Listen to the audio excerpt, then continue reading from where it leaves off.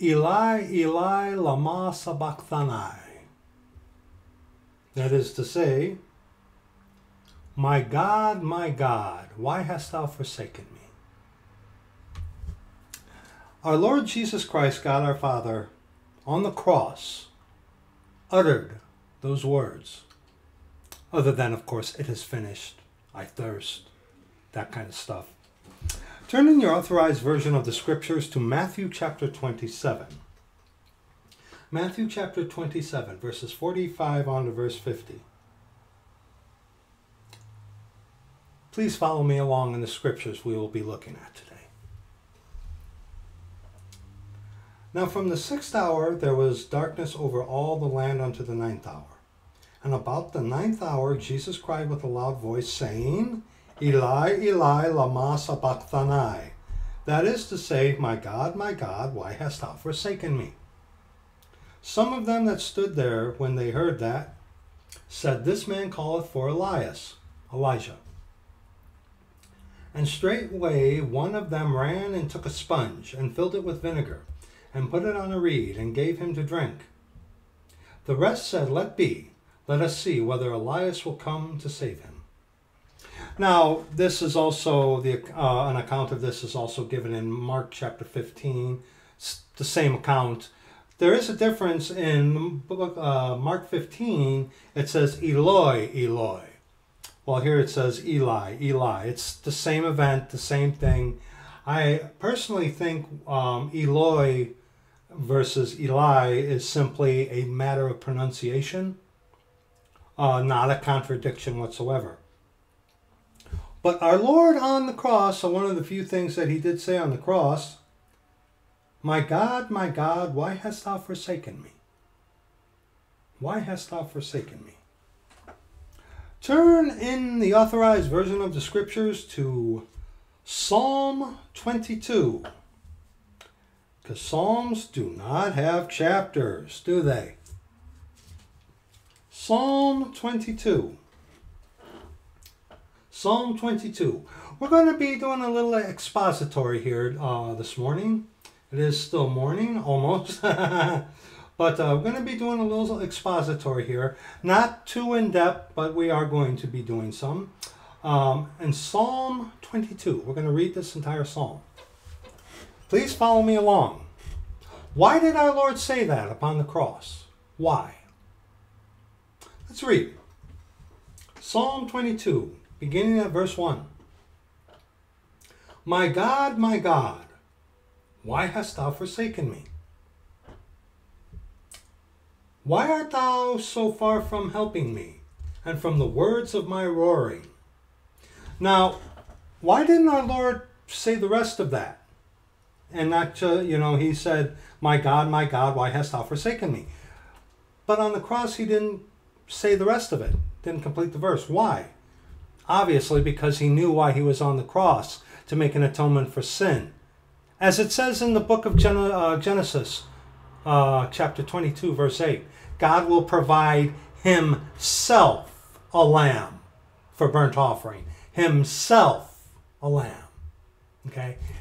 Uh, our Lord Jesus Christ knew why he was on the cross to die, bury, and raise again the third day according to the scriptures, and to shed his blood to make an atonement for sin, to be the perfect sacrifice to wash sin away, where the blood of bulls and goats could only cover, while the blood of God Himself, the Father, washes it away. See? So he knew why he was on the cross. But here in Psalm 22, which our Lord did quote, My God, my God, why hast thou forsaken me? But in that verse, why art thou so far from helping me? And from the roar and from the words of my roaring. Hmm, could you say just begin with the beginning of the psalm that and this is a psalm of David that David at this moment was feeling forsaken, all alone, helpless, hopeless, all dignity and all manner of rights and respect taken from him? O my God, I cry in the daytime, but thou hearest not, and in the night season, and am not silent. But thou art holy, separate, other than. O thou that inhabitest the praises of Israel. Our fathers trusted in thee. They trusted, and thou didst deliver them. They cried unto thee, and were delivered. They trusted in thee, and were not confounded. Verse 6 But I am a worm and no man, a reproach of men, and despised of the people. All they that see me laugh me to scorn. They shoot out the lip, they shake the head, saying, He trusted on the Lord that he would deliver him. Let him deliver him, seeing he delighted in him. So, David in the psalm is obviously being mocked. Hmm, you don't say. Isaiah chapter 53. Isaiah chapter 53. Thank you, Lord. Verses 2 on to verse 4. Isaiah chapter 53. Now let's read verses 1 on to verse 4. Who hath believed our report? And to whom is the arm of the Lord revealed, referring unto our Lord Jesus Christ himself, God our Father? For he shall grow up before him as a tender plant and as a root out of a dry ground. He hath no form nor comeliness. And when we shall see him, look at this, there is no beauty that we should desire him. You know, the effeminate, blonde haired, blue eyed Jesus that Roman Catholicism pushes upon so many of you, doesn't he look so pretty? Doesn't he look so beautiful, huh? Yeah uh, Jesus Christ is come in the flesh was not this white, blonde haired, blue eyed, effeminate looking individual. No, he, he was a Jew. He was a Jew. He was a working man. He hath no form nor comeliness, and when we shall see him, there is no beauty that we should desire him. Look up at uh, Isaiah chapter 52, verses 13 and 14. Behold, my servant shall deal prudently. He shall be exalted and extolled, and be very high. As many as were stoned at thee, his visage, his face, was so marred more than any man, and his form more than the sons of men. Remember, they pulled the beard out of our Lord Jesus Christ, God our Father. They yanked out his beard. They smote him on the head. They put a crown of thorns on his head. They beat him bludgeoned, bloody, gangrenous. He was crucified naked, scarred, cut up.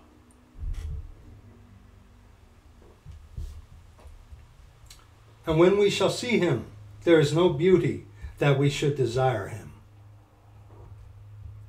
Verse 3 in Isaiah 53 He is despised and rejected of men, a man of sorrows and acquainted with grief. A man of sorrows. A man of sorrows and acquainted with grief. So,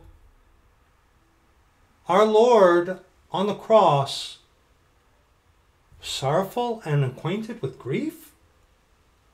You don't say. And we hid, as it were, our faces from him. He was despised, and we esteemed him not. What happens when you go to a Jew with the gospel of our Lord Jesus Christ? That God, the Father, was on the cross, died, buried, and rose again the third day according to the scriptures shed his blood on the cross to make an atonement for sin. What happens when you bring that to a Jew? What happens? Do you want me to believe that's our God? Who is naked, beaten, bloody? And you want me to believe that's our God? But he is. And we esteemed him not. Hmm.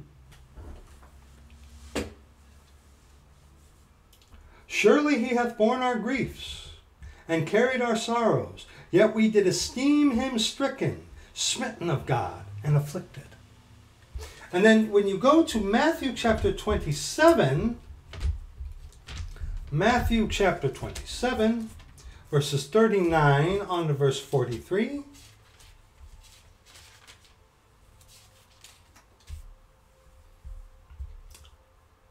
And they passed, and they that passed by reviled him, wagging their heads. What does it say here in Psalm 22? In verse 7 All they that see me laugh me to scorn. They shoot out the lip, shoot out the lip, like just as it says, open their big mouth and blab something.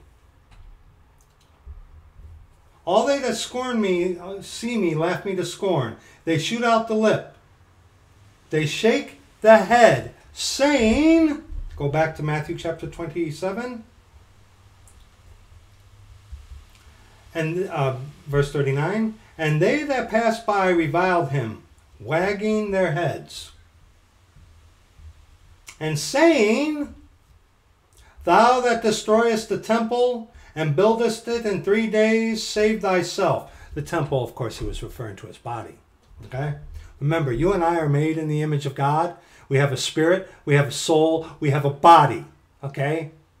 God has a spirit, soul, and body. The Holy Ghost is the spirit. God the Father is the soul. The Word made flesh is the body. Okay?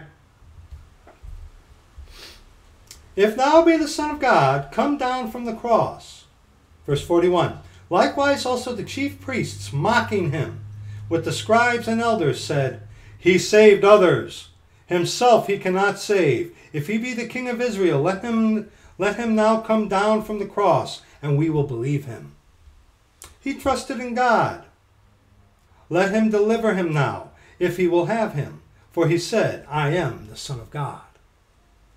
And also, too, looking in John chapter 1, John chapter 1,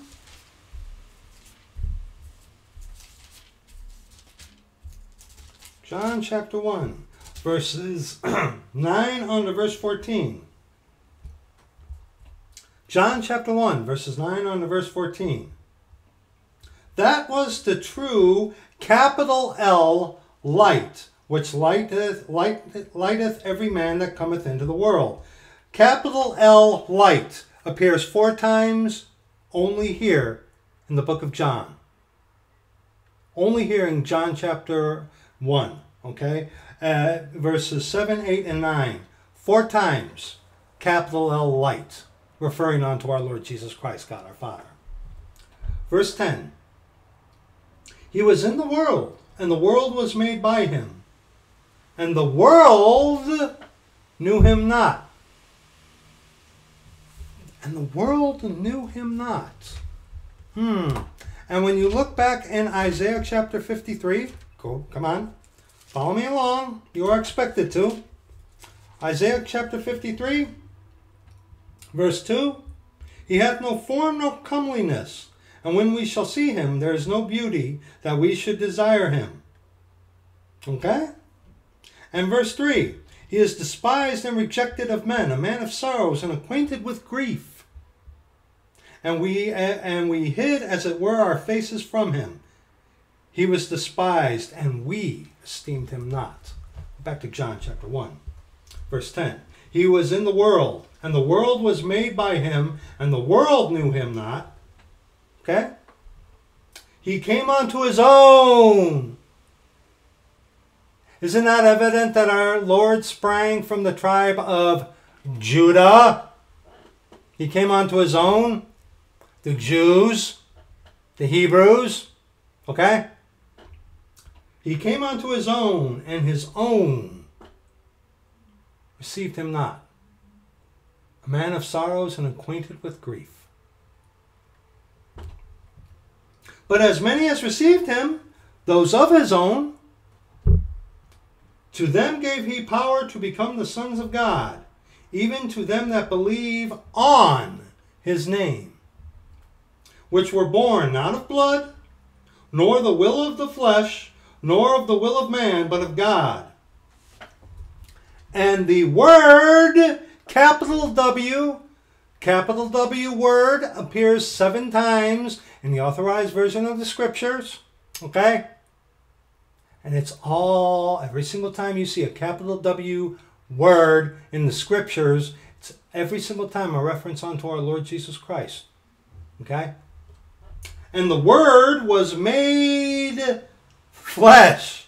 The Word was made flesh and dwelt among us.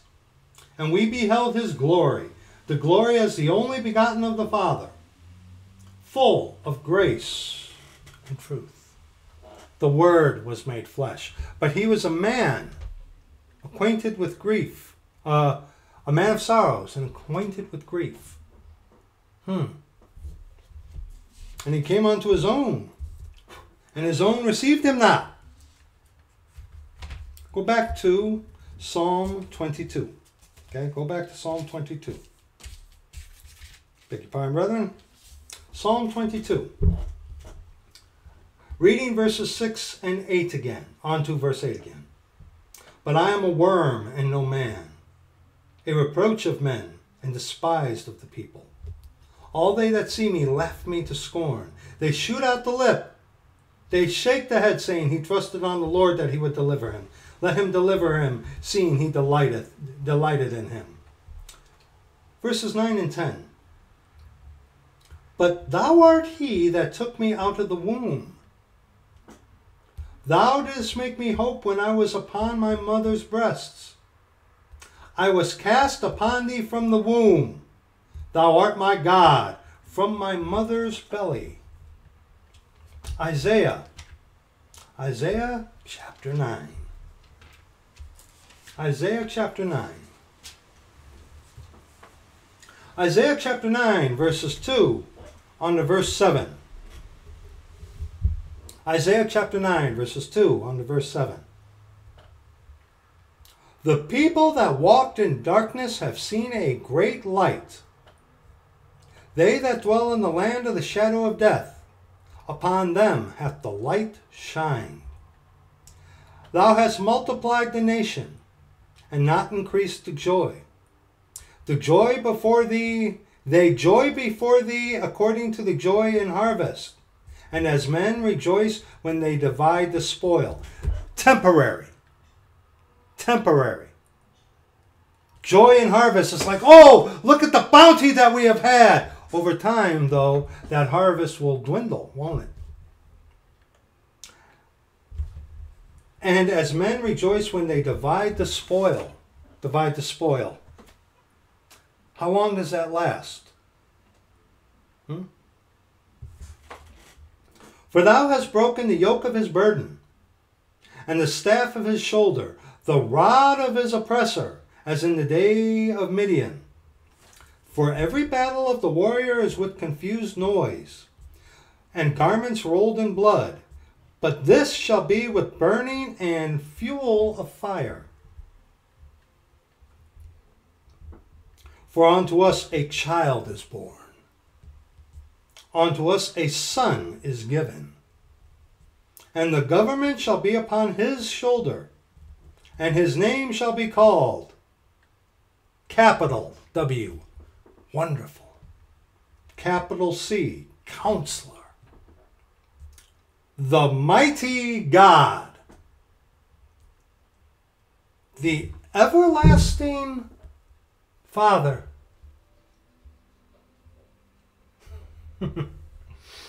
the Prince of Peace. So whoever this is talking about, he's a, he's wonderful, counselor, the mighty God, the everlasting Father, the Prince of Peace. Hmm. Of the increase of his government and peace there shall be no end. Upon the throne of David, and upon his kingdom to order it, the kingdom of heaven and to establish it with judgment and with justice from henceforth, even forever. The zeal of the Lord of hosts will perform this. Now, obviously, this is talking about who? Our Lord Jesus Christ, the everlasting Father. You mean not God the Son? Find God the Son for me in the authorized version of scripture. Look real hard. Get your magnifying glass out. Go ahead. Find it for me. Let me let me let you in on a little secret. The Trinity that's taught by Roman Catholicism that stems from Roman Catholicism. Uh, actually, the Trinity uh, comes from Babylon, Egypt, and is taught through Catholicism. it's satanic. It's satanic blasphemy. One God in three divine persons. What is a person? A spirit, soul, and body. Trinity is satanic, my dear friend. Whoever this is talking about, look, we know who it, who it is talking about, is wonderful. Counselor. Isn't that another counselor, a comforter, kind of like the Holy Ghost? And the Lord is that Spirit. The mighty God, the everlasting Father. Mm-hmm. Yeah, now go to Isaiah chapter 42. Isaiah chapter 42. Isaiah chapter 42, verses 1 on to verse 9. Behold my servant, whom I uphold, mine elect, in whom my soul delighteth. My soul delighteth. God has a soul? Yeah, he does. Yeah. Spirit, soul, and body. Hey, how does a voice walk, by the way? Unless he has a body. Yeah, let's continue. I have put my spirit upon him. He shall bring forth judgment to the Gentiles. He shall not cry, nor lift up, nor cause his voice to be heard in the street. A bruised reed shall he not break, and the smoking flax shall he not quench. He shall bring forth judgment unto truth. He shall not fail nor be discouraged till he have set judgment in the earth, and the isles shall wait for his law. Thus saith God the Lord, He that created the heavens and stretched them out, He that spread forth the earth, and that which cometh out of it. He that giveth breath unto the people. He that giveth breath unto the people upon it, and spirit to them that walk therein. I, the Lord, have called thee in righteousness, and will hold thine hand. I will keep thee, and give thee for a covenant of the people, for a light of the Gentiles to open the blind eyes, to bring out the prisoners from the prison, and them that sit in darkness out of the prison house. I am the Lord, that is my name, and my glory will I not give to another, neither my praise to graven images, you despicable Catholics. Behold, the former things are come to pass, and new things do I declare before they spring forth, I tell you of them. Skip down a little to verses 18 on to verse 21. Check this out. In Isaiah 42, verses 18 on to verse 21. Hear ye, deaf, and look, ye blind, that ye may see. Who is blind but my servant, or deaf as my messenger that I sent? Who is blind as he that is perfect? And blind as the Lord's servant? Seen many things, but thou observest not. Opening the ears, but he heareth not. See, Jesus came preaching truth unto his people, the Jews. But they didn't have eyes to see, ears to hear. did they? No. The Lord is well pleased for his righteousness' sake. Whose? The Lord Jesus Christ. He will magnify the law and make it honorable. Magnify the law.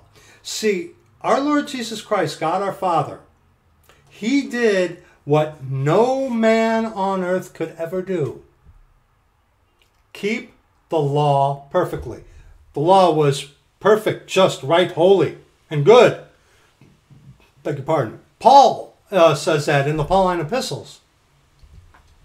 But it says he will magnify the law and make it honorable. Because only God could keep perfectly his own requirements. See, the Ten Commandments, those are the perfect requirements from a perfect God. But see, you and I, at our best, could never keep that. God,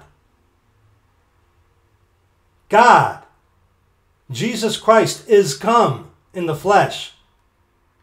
God was manifest in the flesh. God, he could keep the law perfectly. He, what did he do? He magnified the law and he made it honorable because he, as a man, did what you and I could never do. He kept the law perfectly. He never sinned. He never sinned. Never sinned at all. Any wonder who this is talking about, by the way, again? Now go back to Psalm 22. Reading verses 9 and 10 again. But thou art he that took me out of the womb. Thou didst make me hope when I was upon my mother's breasts. I was cast upon thee from the womb. Thou art my God from my mother's belly. Be not far from me, for trouble is near. For there is none to help. Many bulls have compassed me, strong bulls of Bashan have beset me round. They gaped upon me with their mouth, with their mouths, as a raving and a roaring lion. I am poured out like water. All my bones are out of joint. My heart is like wax. It is melted in the midst of my bowels. It is believed that when our Lord was crucified, that his bones, not broken, okay, not one of his bones were broken, but in crucifixion, by the hands and through the feet, that sagging like that will eventually cause a bone or two to be dislocated. And also, too, um, maybe his limbs were dislocated in order to crucify him? Mm-hmm. Mm-hmm. But verse 14 specifically, I am poured out like water. Jesus Christ on the cross, poured out like water. And all my bones are out of joint. My heart is like wax. It melted. It has melted in the midst of my bowels. On the cross, he said, Father, forgive them, for they know not what they do. They know not what they do. They didn't know that they were there mocking, wagging their head at their God, their Father, their promised Messiah, whom they delivered over to the Romans. Hmm but rabbit trail here. It's going to be really interesting to see how you devils play out your little anti-Semitic tirade while trying to pretend that you're still of the Church of the Living God. It's going to be really interesting to see how you guys are going to try to pull that off. It started with one of you. Two more are coming, aren't they, aren't you? Yeah. Yeah. Yeah. I had to say that because our Lord said of the Jews, He who gave me over to you had the greater sin. But then again, you keep in mind the parable of the fig tree. He cursed that specific fig tree. Did all the fig trees die when our Lord cursed the fig tree? No. Just that one fig tree, right? Mm-hmm. that generation that handed the Lord over onto the Romans, that's what he was talking about. And let's be honest, while the Jews used the Roman system, yes, and in comparison to the parable of the fig tree that uh, dried up and brought forth no fruit, indicative to that very generation that our Lord Jesus Christ was talking about, okay? Um, did any of the Jews themselves stretch our Lord on the cross? Huh? Their genius? Did any of the Jews take the mallet and pound those nails into his hands and into his feet? Hmm. No. That was the Romans. Very subtle, very subtle um, little thing that you've come up there with. Reflect upon thy word. Oh, that's not your name now, is it?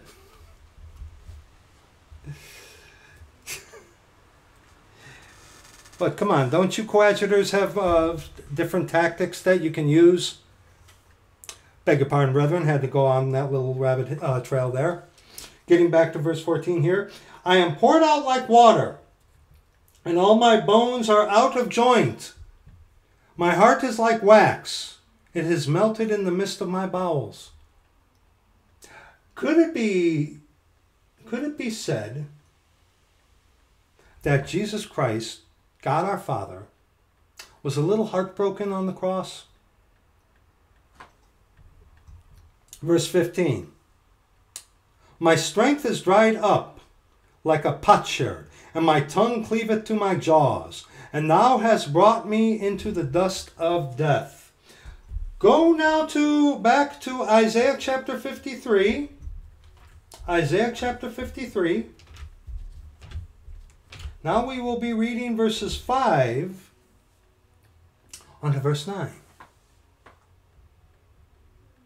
But he was wounded for our transgressions, he was bruised for our iniquities. The chastisement of our peace was upon him, and with his stripes we are healed. All we like sheep have gone astray. We have turned every one to his own way, and the Lord hath laid on him the iniquity of us all. He was oppressed, and he was afflicted, yet he opened not his mouth. He is brought as a lamb to the slaughter and as a sheep before the shears is dumb, so he openeth not his mouth. This again plays into right here in verse 7 when you look in Psalm 22, verse 1. Our Lord only said, My God, my God, why hast thou forsaken me? That's all he said. He didn't quote the rest of it. Why?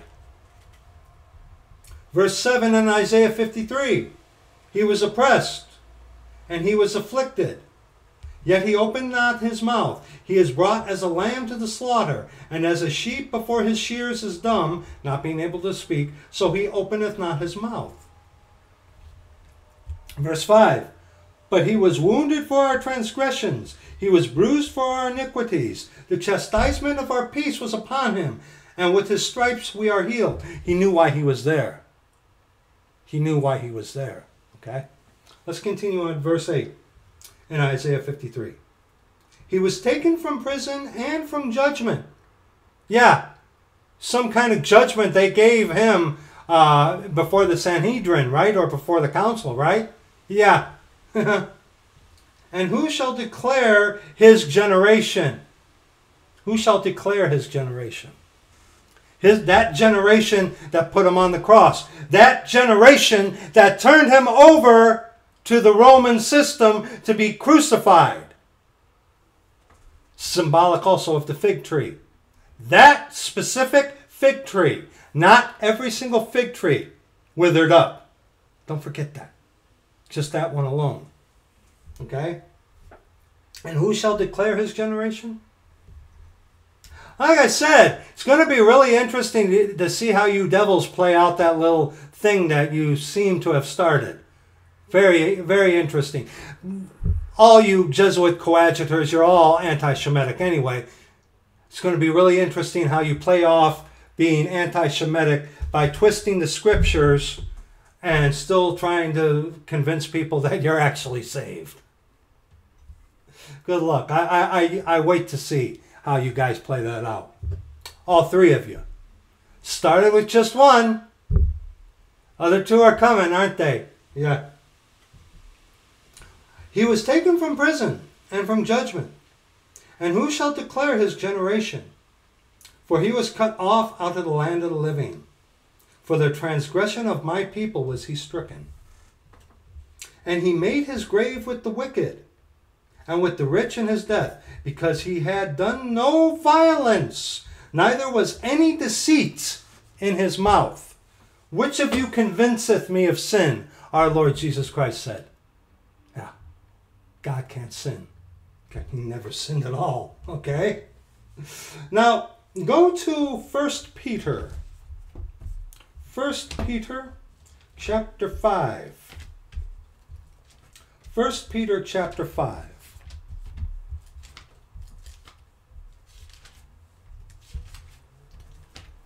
First Peter chapter 5. Come on, fingers, work with me.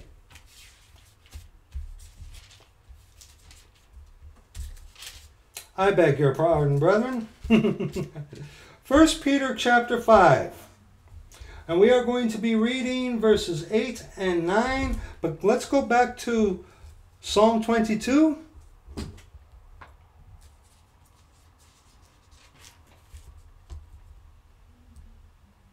Psalm 22, verses 13 on to verse 15 again.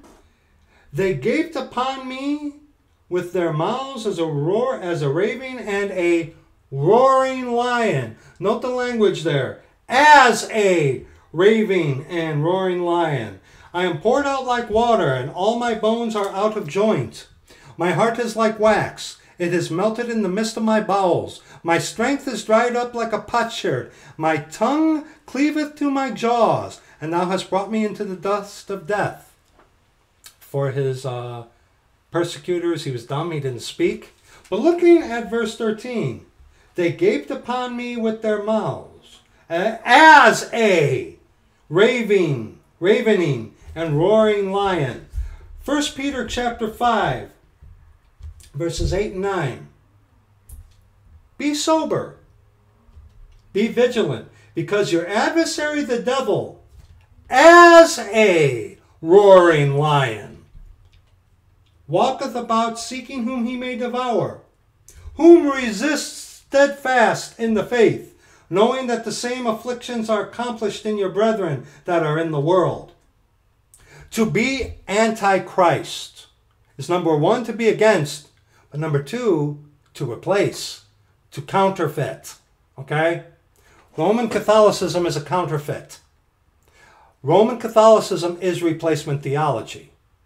To be antichrist is one to be against Jesus Christ, obviously, but number two, and more importantly, to replace with something else.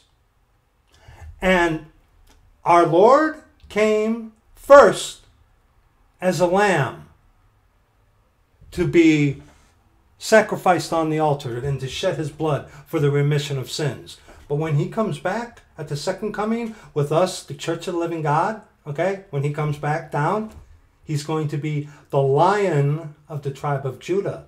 You know, the Jewish flag, not the hexagram, the seal of Solomon, which is the seal of the Masons, okay? Yeah, the sign of the Masons. Okay, the mason, here's the woman, here's the man. You put the lion in there, the G in the middle, which stands for generativity, which is a perverse sex symbol. That is not the flag of Israel.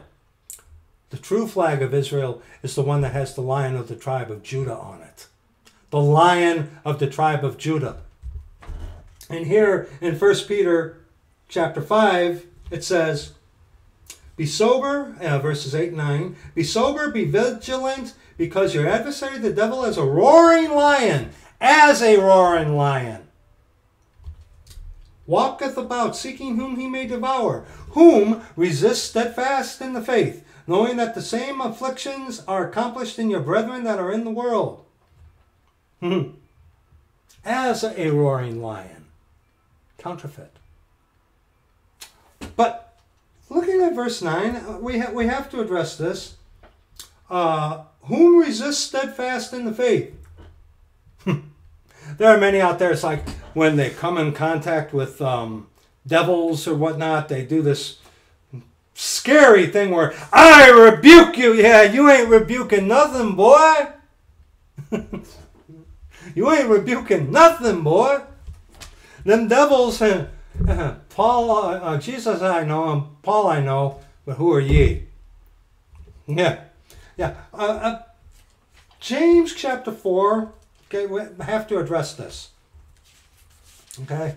See, in in First Peter chapter five, he says, "Whom resist steadfast in the faith." Who are we resisting steadfast? The devil. How, how do you do that? James chapter 4, verses 7 on to verse 10. Okay? Now pay attention. Submit yourselves, therefore, to God. Now stop. Stop. Submit yourselves unto God. You know, bend that knee. Bend that knee. Submit yourselves, therefore, to God. Resist the devil, and he will flee from you. Now, and we just heard Peter say, resist the devil. You are not able to resist the devil without submitting yourself first to God. That's why it's a horrific thing. And I've seen people do, I've heard people do this too, where they say, I uh, this is indicative to a lot of these care Catholic, Pentacatholic people. Um, I rebuke you in the name. You ain't rebuking nothing, boy. You better watch it. You're rebuking. Remember, uh, Michael the archangel wouldn't even dare to bring a railing accusation against Satan, but said, uh, What? The Lord rebuke thee? yeah. Yeah. See, submit yourself. Submit yourself, therefore, to God. Resist the devil, and he will flee from you. Draw nigh to God, and he will draw nigh to you. Cleanse your hands, ye sinners, and purify your hearts, ye double minded. Be afflicted and mourn and weep. Let your laughter, because you were joined in your sin, be turned to mourning, and your joy to heaviness. Humble yourselves in the sight of the Lord, and he shall lift you up. We had to address that. We had to address that. Hope you don't mind. Had to address that. Now go back to Psalm 22. Had to address that. Verse 16. Because here, so far, the psalmist David is talking about how he has no strength, how he was cast upon him from the womb, how he felt forsaken. Kind of like what it must feel like for someone who is on the cross. See, crucifixion, way back when, Crucifixion apparently still happens today in some countries, apparently. And see, when one is crucified through the hands, we'll touch on that a little later. But when someone is crucified, you are basically being suffocated by the weight of your own body and gravity pulling downward. Okay? It's a very gruesome death, apparently. Gruesome, brutal death. It would be, you know, what was it? Uh, back in Roman times, uh, back in these times, a merciful death would be someone to just slam some poison and they'd be dead pretty quick. While crucifixion was reserved for the worst of the worst because it was a horrible way to die.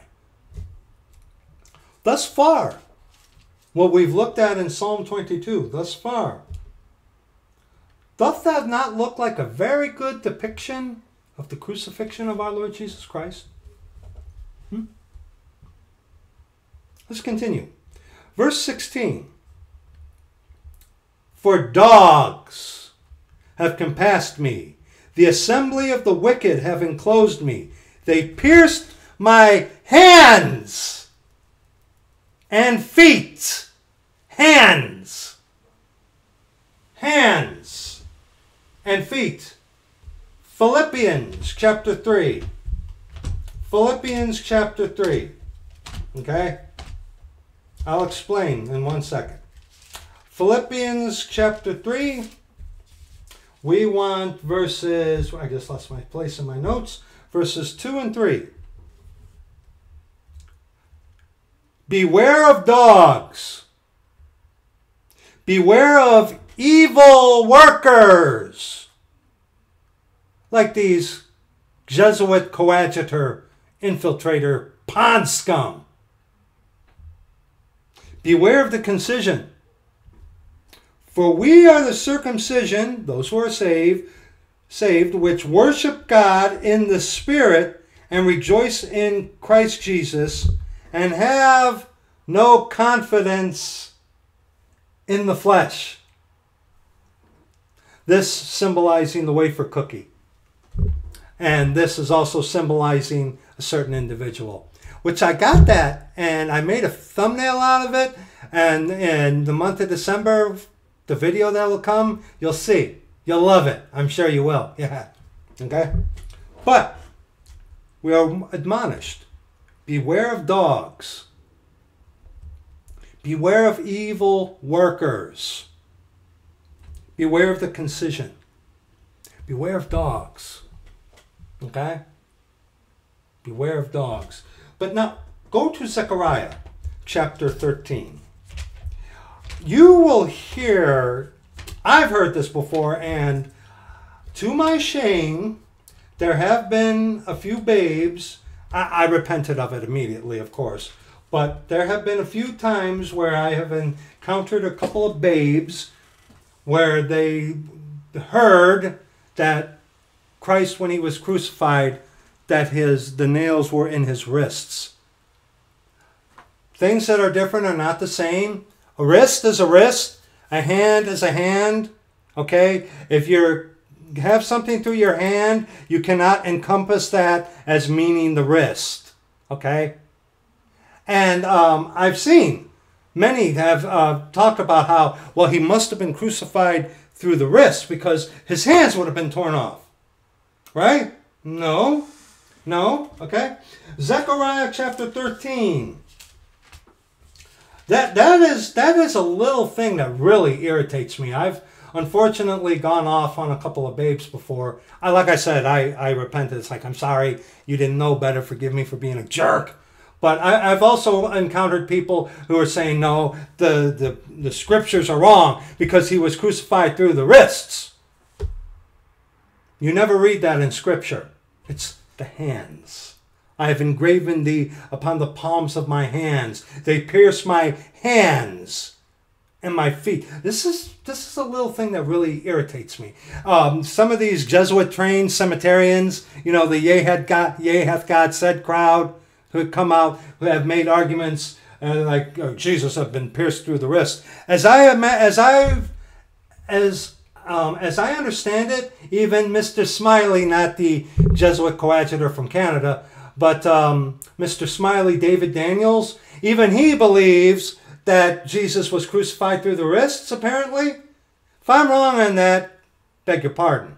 But Zechariah chapter 13, verses 6 on to verse 9. And one shall say unto him, What are these wounds in thine hands? Then shall he answer, Those with which I was wounded in the house of my friends the house of my friends. He came unto his own, and his own received him not. Awake, O sword, against my shepherd. Oh, oh, oh, oh, hold your place here. Go back, go back to Isaiah chapter 53, okay? Awake, what? Okay, hold on, let me get there. hold on, let me get there. okay, look at that verse. Awake uh, in uh, Zechariah chapter 13, verse 7. Awake, O sword, against my shepherd, and against the man that is my fellow, saith the Lord of hosts. Isaiah chapter 53. But he was wounded for our transgressions. Verse 5. He was bruised for our iniquities. The chastisement of our peace was upon him, and with his stripes we are healed. The chastisement of our peace was upon him. The full wrath that you and I, as the Church of the Living God, ought to receive,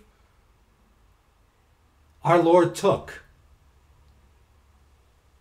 Our Lord took that upon the cross, upon his flogging and whatnot. Now go back to uh, Zechariah chapter 13, verse 7. Awake, O sword, against my shepherd, and against the man that is my fellow, saith the Lord of hosts. And this, of course, in the Garden of Gethsemane came to pass. Smite the shepherd, and the sheep shall be scattered. And I will turn mine hand upon the little ones. And it shall come to pass that in all the land, saith the Lord, two parts therein shall be cut off and die but the third shall be left therein, a remnant. And I will bring the third part through the fire, and will refine them as silver is refined, and will try them as gold is tried. They shall call on my name, and I will hear them, and, and I will hear them. I will say, It is my people. And they shall say, The Lord is my God. Now, this, especially verses 8 on to verse 9, is future prophecy yet to be fulfilled. Why? Because this is denoting for the time of Jacob's trouble when the Jew realizes, hey, those uh, authorized version of the scripture believers, okay, those of the church of the living God were telling us the truth all along, okay? And note how it says, and I will bring the third part through the fire, the fire of the tribulation of the time of Jacob's trouble. It'll be the time of great tribulation, not the tribu- uh, great tribulation. The great tribulation does not appear in Scripture. Find it. And, put the authorized version of the Scripture verse in the comment section. Good luck. Okay? Good luck. This is future prophecy when Jerusalem, Israel, will receive their king when they midway during the time of Jacob's trouble, they figure it out. And they're like, oh, wow, they were telling us the truth. Jesus Christ is our King. Verses 8 and 9 are future prophecy yet to be fulfilled. And that will be fulfilled during the time of Jacob's trouble. Okay? Future prophecy. Because uh, verse 7, verse 6 and 7 already happened, didn't it? But verses 8 and 9 have yet to happen. Go back now to Psalm 22, verses 17 and 18. I may tell all my bones, they look and stare upon me. They part my garments among them and cast lots upon my vesture. Now, obviously, we know they already did that when the Roman soldiers cast lots for our Lord's garment, okay? But Go back now to Zechariah, Zechariah chapter 12. Zechariah chapter 12. Zechariah chapter 12, verses 10 on to verse 14. And I will pour upon the house of David and upon the inhabitants of Jerusalem the spirit of grace and of supplication and they shall look upon me whom they have pierced, and they shall mourn for him, as one mourneth for his only son, and shall be in bitterness for him, as when as one that is in bitterness for his firstborn.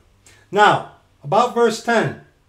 Yes, there were some that were mourning over the crucifixion of our Lord Jesus Christ, God our Father. But Jerusalem, Israel, in a whole, were they mourning for him as one that is in bitterness for his firstborn, as a nation, as a collection of people? No. No. They weren't. They weren't. And look upon me whom they have pierced? They looked upon him on the cross, yes. But see, at his second coming, where every eye is going to see him at his second coming, they're going to look on he on him whom they pierced. Okay? Keep reading. In that day, the day of the crucifixion? No. In that day shall there be a great mourning in Jerusalem, as in the morning of Hadad Rimmon, in the valley of Megiddon. And the land shall mourn, every family apart, the family of the house of David apart, and their wives apart, and the family of the house of Nathan apart, and their wives apart, the family of the house of Levi apart, and their wives apart, the family of Shimei apart, and their wives apart, all the families that remain, every family apart, and their wives apart. This now, okay, verse 10. They're going to look on him whom they have pierced when he come down at his second coming. They're going to weep. It's like, oh wow, we should have we should have woken up to this sooner. We should have known. We, they knew the truth was given to them. But it's going to take the time of Jacob's trouble midway through for the Jews to realize, whoa, we missed it. They were telling us the truth. They, the church of the living God, which gets caught up before the time of Jacob's trouble. Okay? And then once they figure it out, from verses 11 on to verse 14, they're going to say, oh, wow, we really messed it up. We should have believed on him when he was first here. Future prophecy. But, but now let's read verses 6 on to verse 9 in Zechariah chapter 12, okay? Verses 6 on to verse 9. Check this out. In that day will I make the governors of Judah like an hearth of fire among the wood. In that day. Did that already happen? No. This is future prophecy. Okay? Let's continue. And like a torch of fire in, the, in a sheath, and they shall devour all the people round about, on the right hand on, and on the left. And Jerusalem shall be inhabited again in her own place, even in Jerusalem. The Lord also shall save the tents of Judah first, because our Lord sprang from Judah, that the glory of the house of David and the glory of the inhabitants of Jerusalem do not magnify themselves against Judah. Has this happened or has this happened yet? In day shall the Lord defend the inhabitants of Jerusalem, and he that is feeble among them at that day shall be as David, and the house of David shall be as God, as the angel of the Lord be for them. Talking about when our Lord Jesus Christ comes back at his second coming. This is future prophecy yet to be fulfilled. Okay? Talking about his second coming. Okay? This has not already happened yet. Okay? Verse 9. And it shall come to pass in that day that I will seek to destroy all the nations that come against Jerusalem. You know, like the 200 million man army that Satan's going to raise up to bring everybody uh, against Jerusalem. This is future prophecy, talking about the second coming that deals with the time of Jacob's trouble. Okay? Okay? Okay? Now go to John chapter 6. John chapter 6. John chapter 6. John chapter 6, we want verses 37 on to verse 40. John chapter 6, 37 on to verse 40. All that the Father giveth me shall come to me, and him that cometh to me I will in no wise cast out. For I came down from heaven, not to do mine own will, but the will of him that sent me. And this is the Father's will which has sent me, that of all which hath uh, that of all which he hath given me I should lose nothing, but should raise it up again at the last day. And this is the will of him that sent me, that every one which seeth the Son and believeth on him may have everlasting life, and I will raise him up at the last day. Now, this is before the death, burial, and resurrection of our Lord Jesus Christ. Okay, when he said this in John chapter 6. Before the death, burial, and resurrection was what? Doctrinally, the Old Testament, because the law was still binding. The perfect sacrifice for sin had not yet been made. Doctrinally, before the death, burial, and resurrection of our Lord Jesus Christ, before the crucifixion, this is still doctrinally the Old Testament. It's in the collection of books, yes, of the New Testament. But before the death, burial, and resurrection, this is Old Testament, buddy. Okay? And note, and this is the will of him that sent me, that everyone which seeth the Son. Um, newsflash. Today in this dispensation, we walk by faith, not by sight. Right? Come on. Come on. Even you easy believers and devil heretics know that one. Yeah, come on. For we walk by faith, not by sight. Right? And the Jews require a sign? So, see, when he is saying this, he is saying it as the king, which was on the earth, offering the kingdom of heaven unto the Jewish people. So when he says, And this is the will of him that sent me, that everyone which seeth the Son, you and I today in this dispensation, you're not going to see the, the Son. You're not going to see our Lord Jesus Christ. And if there are a lot of people out there who said that they have seen Jesus, you lie and your breasts stink. You lie. You lie. Paul went up to where God is, the third heaven. Okay? And he didn't he didn't say he said he saw things that it was not lawful for a man to utter. The apostle Paul. Then you got that kid Burpo coming to, uh, saying he went to heaven and saw Jesus. You see a lot of these uh, Catholic, Pentacatholic nitwits saying they've seen Jesus.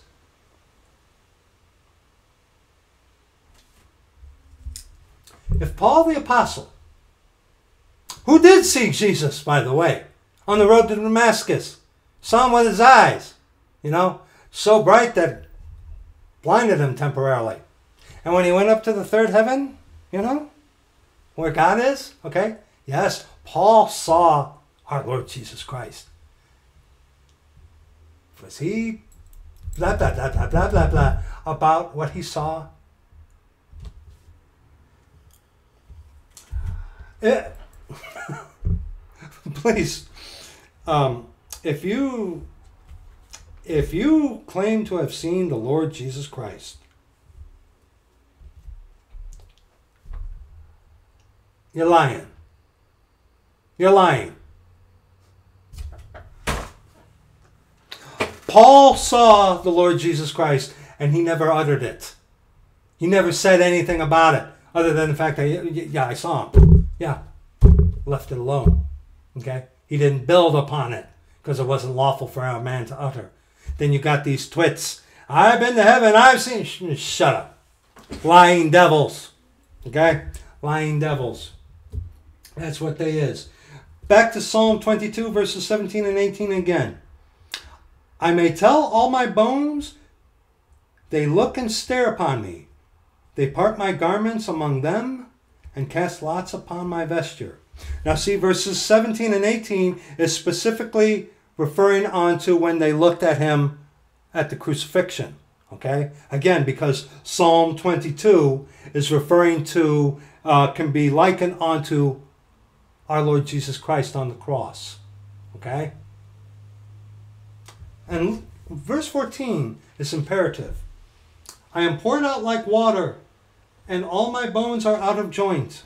My heart is like wax, it has melted in the midst of the, my bowels. Hmm. Okay? Now let's continue reading.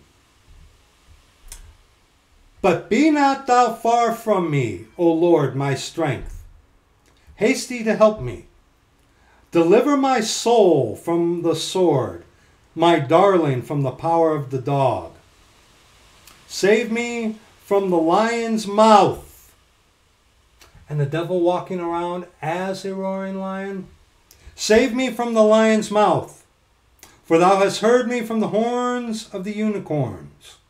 Now, verse 22 is where this psalm shifts. Okay?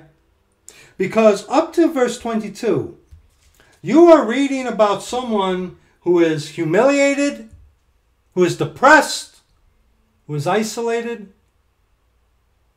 who is feels forsaken. Very similar to God manifest in the flesh who's on the cross.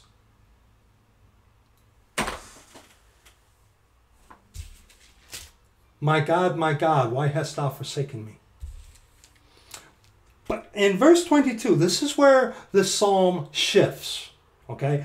Virtually in almost every single psalm, almost every single psalm, there is a point within a psalm where it shifts.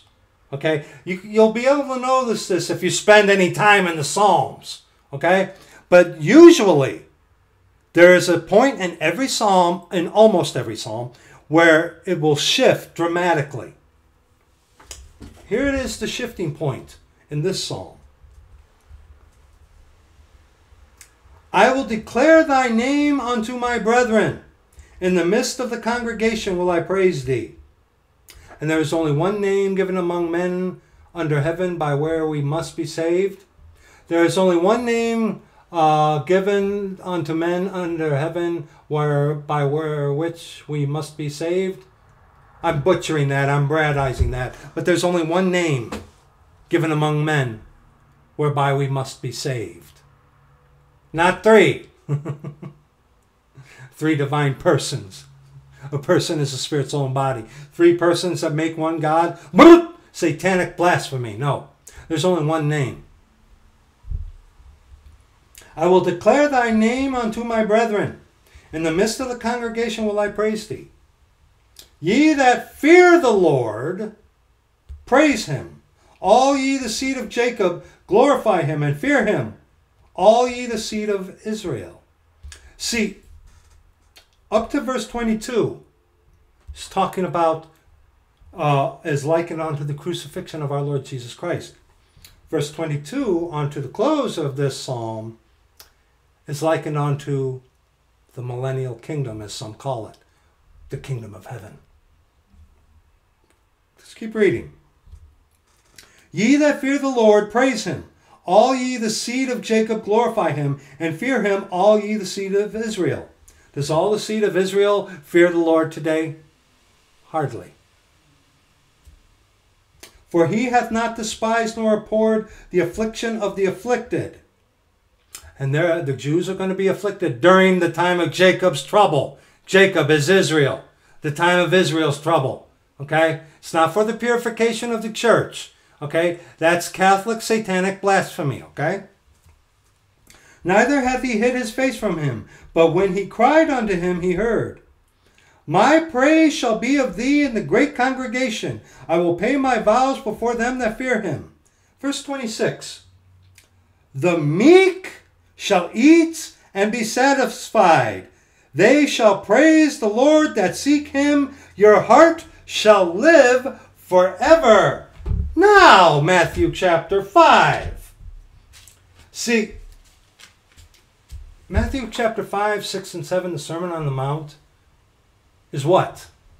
It is not doctrine for us today in this dispensation, the time of the Gentiles. No, it is not. Faith is mentioned one time during the Sermon on the Mount, just one time, and it's in the form of a rebuke. There's no mention of the death, burial, and resurrection. There's no mention of the cross. There's no mention of the blood that maketh atonement for sins. Is there? No. It's all works. It's all works uh, in the sermon on the uh, in the Sermon on the Mount. That's why Catholics like it. Catholics is work salvation without assurance of salvation. Okay? But it's all works. This Sermon on the Mount is what it's going to be like in the kingdom of heaven. Okay? That's what it's going to be like. That's what this is about the Sermon on the Mount. It's about the kingdom of heaven. It's not doctrine for us today. So, with that, Matthew chapter 5, verses 3 on verse 12. But let's refresh our memory in verse 26 and Psalm 22. The meek shall eat and be satisfied. They shall praise the Lord that seek him. Your heart shall live forever. Like I told you, beginning at verse 22 on to verse 31 is all about the kingdom of heaven in this psalm. Uh, up to uh, 20 of uh, verse 1 on to verse 21 is likened unto the crucifixion of our Lord Jesus Christ. Verses 22 on to verse 31 in Psalm 22, kingdom of heaven. Let's read. Oh, uh, yeah, yeah. Verse 26 The meek shall eat and be satisfied. They shall praise the Lord that seek him. Your heart shall live forever. Matthew chapter 5, verses 3 on to 12. Blessed are the poor in spirit, for theirs is the kingdom of heaven. Kingdom of heaven, every time it appears, and it appears in the book of Matthew, is talking about the actual physical, literal kingdom of heaven in Jerusalem, where our Lord Jesus Christ is going to sit on the throne, rule and reign from there, and rule the world, all nations, with a rod of iron. We'll look at that in a little bit, just so you know, okay? But let's continue. Blessed are they that mourn, for they shall be comforted. Blessed are the meek, for they shall inherit the earth. Blessed are they which do hunger and thirst after righteousness, for they shall be filled. Blessed are the merciful, for they shall obtain mercy. Blessed are the pure in heart, for they shall see God. Yeah, you have to have a really pure heart uh, leading up to the kingdom of heaven because what precede, what comes before the kingdom of heaven? The time of Jacob's trouble. Yeah, yeah. You take that mark of the beast, you're going to hell. No ifs, ands, or buts about it. Yeah, yeah. Blessed are the pure in heart, for they shall see God. Blessed are the peacemakers, for they shall be called the son, the children of God. Blessed are they which are persecuted for righteousness' sake, for theirs is the kingdom of heaven. Blessed are ye when men shall revile you and persecute you, and shall say all manner of evil against you falsely for my sake. Rejoice and be exceeding glad, for great is your reward in heaven, for so persecuted they the prophets which were before you. Now, instruction in righteousness for us today? Absolutely. Doctrinally, people. Doctrine. Sermon on the, Mount, on the Mount does not apply for us today. It applies for the kingdom of heaven because the Sermon on the Mount is about the kingdom of heaven. To instruct us in righteousness for today? Absolutely. Doctrinally? Yeah. Okay? Please don't get confused over that. If you are, you're not rightly dividing the word of truth, sir. Okay? Just letting you know. Okay, somebody got to tell you that. Okay, now go back to Psalm 22. I almost said chapter. Psalm 22, verses 27 on verse 29 now. All the ends of the world shall remember and turn unto the Lord. Has that happened today? Oh, that son of perdition, when we, the Church of the Living God, get caught up, he's going to uh, counterfeit that in a way. But has that happened at all today? Even through the heretical, satanic, ecumenical movement? Yeah. All the ends of the world shall remember and turn unto the Lord, and all the kindreds of the nations shall worship before thee. See, kingdom of heaven. This is talking about the kingdom of heaven when all nations are going to be subservient unto our Lord Jesus Christ, God our Father, who will be reigning as king from Jerusalem. Okay? Verse 28 For the kingdom is the Lord's, the kingdom of heaven. And he is the governor among the nations. Oh, what did we read in Isaiah chapter 9? That the government shall be upon his shoulders? Uh huh. Uh huh. and verse 29. All they that be fat upon earth shall eat and worship. All they that go down to the dust shall bow before him, and none can keep alive his own soul. Back to Zechariah. Back to Zechariah chapter 14. Back to Zechariah, not Micah.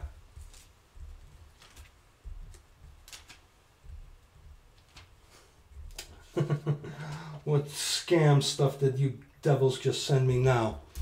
Zechariah chapter 14, verses 16 on to verse 17. And it shall come to pass that everyone that is left of all the nations which came against Jerusalem, now hold on. And it shall come to pass that everyone that is left of all the nations which came against Jerusalem. Look at verse 27 in Psalm 22. All the ends of the world shall remember and turn unto the Lord, and all the kindreds of the nations shall worship before thee. Verse 16 in Zechariah chapter 14.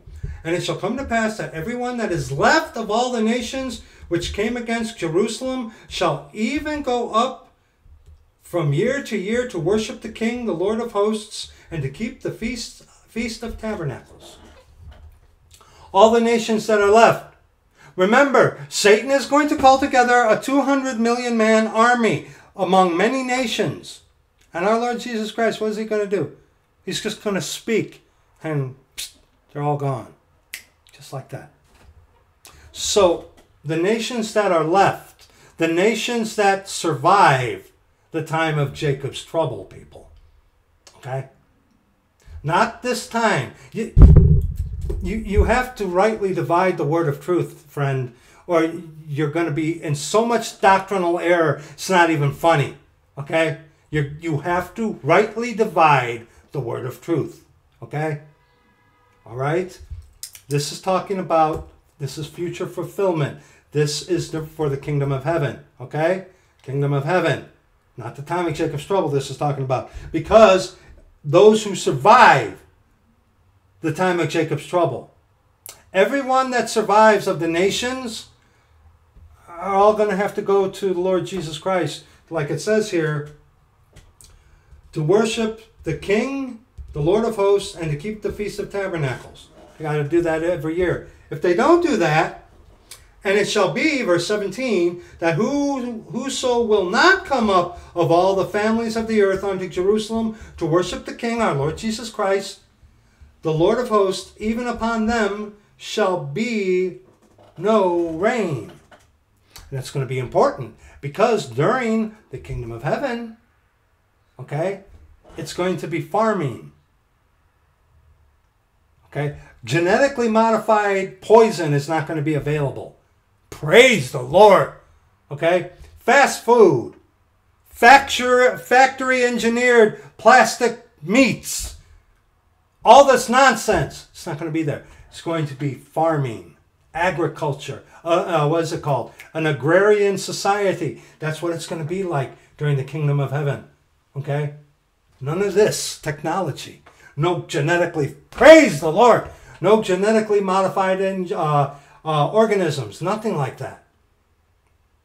So those who survive the time of Jacob's trouble and every year don't go up to worship Jesus Christ at the Feast of Tabernacles, they ain't going to get no rain. And if they ain't get no rain, they ain't going to have no crops. And if they ain't got no crops, they ain't going to have no food. See? See? Like I told you. Psalm 22, from verses 22, no coincidence, on to verse 31, is talking about the kingdom of heaven. Okay? Let's continue now. Okay? Now go to Psalm 2. You're to love this. You're going to love this. Go to Psalm 2. You're to love this. Psalm 2. Okay, with what we just read in Zechariah, okay? You've noticed that we've gone to Zechariah quite a few times today. Psalm 2. Why do the heathen rage and the people imagine a vain thing? The kings of the earth set themselves, and the rulers take counsel together against the Lord and against his anointed, saying, Let us break their bands asunder, and cast away their cords from us. He that sitteth in the heavens shall laugh. The Lord shall have them in derision. yeah, the 200 million man army. See, Satan's all about flesh. You Catholics, you wicked Catholics, you're all about flesh. So Satan, when he gets his 200 million man army against God, the Father, our Lord Jesus Christ, our Lord, what is it? All, and all our Lord's got to say is like, go. And just like that, all he has to do is speak. 200 million men. Go. Yeah. Then shall he speak unto them in his wrath, and vex them in his sore displeasure?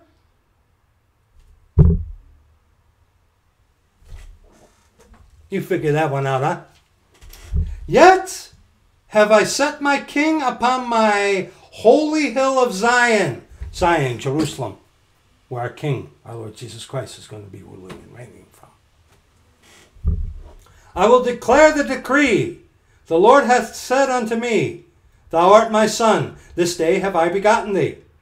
Ask of me, and I shall give thee the heathen for thine inheritance, and the upper uttermost parts of the earth for thy possession. He's when he comes back, he's going to rule the entire world. Okay? Thou shalt break them with a rod of iron. Thou shalt dash them in pieces like a potter's vessel. Be wise now, therefore, O ye kings. Because if you're not wise during the kingdom of heaven and go and worship the king, our Lord Jesus Christ, you're not going to have any food. Okay? Be wise now, therefore, O ye kings.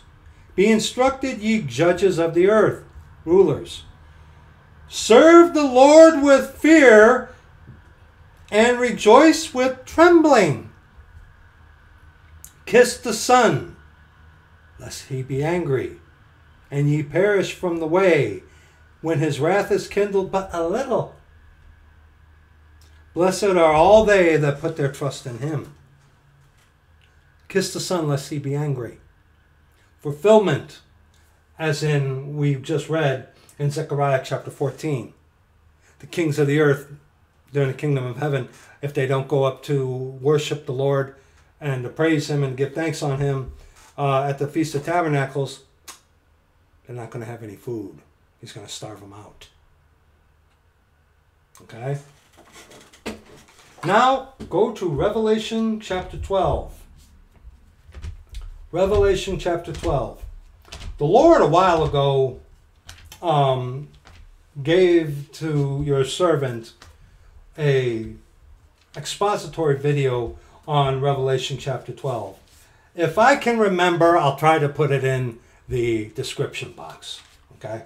I can't often remember, so Revelation chapter 12 verses 1 under verse 5. And I, uh, a while ago, um, was in error on this, thinking that parts of this had already happened in Revelation chapter 12. But it has not. This is all future. Okay? And that's what that one uh, expository video is about, addressing that error I made. Okay? But, Revelation chapter 12. Yeah, I make mistakes. And when I make mistakes, I, uh, I admit them publicly and repent of them publicly. And I leave my mistakes up for you can see them. You know, keeping me accountable, that kind of a thing. Okay? Revelation chapter 12, verses 1 on to verse 5.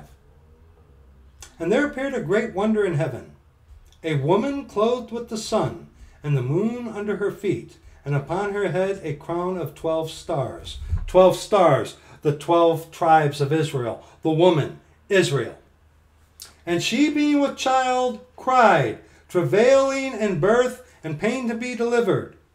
And there appeared another wonder in heaven, and behold, a great red dragon, Satan, having seven heads and ten horns, and seven crowns upon his heads. And his tail drew the third part of the stars of heaven, and did cast them to the earth. And the dragon stood before the woman which was ready to be delivered, for to devour her child as soon as it was born. Remember how Herod, uh, after he learned of the birth of Jesus, that he sent the guys out there after the wise men kind of like mocked them and whatnot? And he had them kill everyone from what, two years old and under or something like that? Okay? Verse 5 And she, Israel, okay, Israel, and she, Israel, brought forth a man child, the Lord Jesus Christ, who was to rule all nations with a rod of iron. And her child was caught up unto God and to his throne. Clearly, okay. If I, I think I'll remember. If I remember, I'll put the Revelation chapter 12 expository video in the description box where we go through that very, very good video. And all praise to the Lord Jesus Christ. But see, the woman is Israel, the 12 stars, uh, the 12 stars and a crown, the 12 tribes of Israel, okay? And the man child that Israel, the woman brought forth, our Lord Jesus Christ, who sprang from the tribe of Judah, okay? Okay? And while we are here, Revelation chapter 19, the second coming. Verses 11 under verse 15. Revelation chapter 19, verses 11 on to verse 15. And I saw heaven opened, and behold, a white horse. And he that sat upon him was called Faithful and True, and in righteousness he doth judge and make war. His eyes were as a flame of fire, and on his head were many crowns. Where you see the son of perdition, uh, earlier in the book of Revelation, he goes forth conquering to conquer. He has a bow with no arrows, and he has on his head a single crown. That's that son of perdition, that man of sin, the son of perdition. Inaccurately referred to as the Antichrist. Okay? Let me see. His eyes were as a flame of fire, and on his head were many crowns and he had a name written that no man knew but he himself. And he was clothed with a vesture dipped in blood, and his name is called the Word, capital W, of God. And if I'm not mistaken, that is the seventh and final appearance of the capital W Word of God. And the armies which were in heaven followed him upon white horses, clothed in fine linen, white and clean. That's us, the Church of the Living God. We get caught up with Him, we coming back with Him. Okay, that's us, the Church of the Living God, who get redeemed before the time of Jacob's trouble. Okay. And out of his mouth goeth a sharp sword, that with it he should smite the nations, and he shall rule them with a rod of iron, and he treadeth the winepress of the fierceness and wrath of Almighty God. Let's read verse 16. And he hath on his vesture and on his thigh a name written King of Kings and Lord of Lords, our Lord Jesus Christ, God our Father. Now go back to uh, Psalm 22. Let's let's finish this up, shall we? Verses 30 on to verse 31. A seed shall serve him. It shall be accounted to the Lord for a generation. They shall come and shall declare his righteousness unto a people that shall be born, that he hath done this. Romans chapter 11. Romans chapter 11.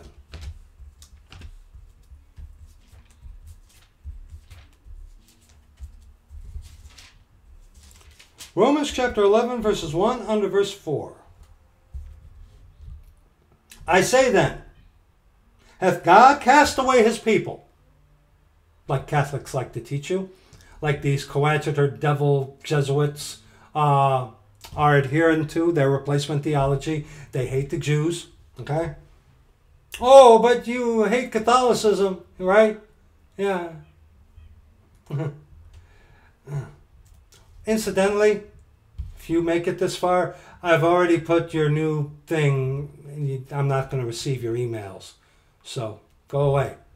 Okay? I say then, hath God cast away his people? God forbid. For I also am an Israelite, of the seed of Abraham, of the tribe of Benjamin. God hath not cast away his people which he foreknew. Wot ye not what the scripture saith of Elias, Elijah, how he maketh intercession to God against Israel, saying, Lord, they have killed thy prophets and digged down thine altars, and I am left alone, and they seek my life. But what saith the answer of God unto him? I have reserved to myself seven thousand men who have not bowed the knee to the image of Baal. And of course, you can check the reference on that in 1 Kings chapter 19, verse 18. Okay? A remnant. There is a remnant. Okay, a seed. What does that say in um, uh, verse 30? A seed shall serve him. It shall be count, accounted to the Lord for a generation. A seed. A little seed. Okay? Now go to Isaiah chapter 53 again. You've noticed now that we have gone through the entire chapter of Isaiah 53. I hope you've noticed that. Of course, you've noticed that if you're following along. Isaiah chapter 53.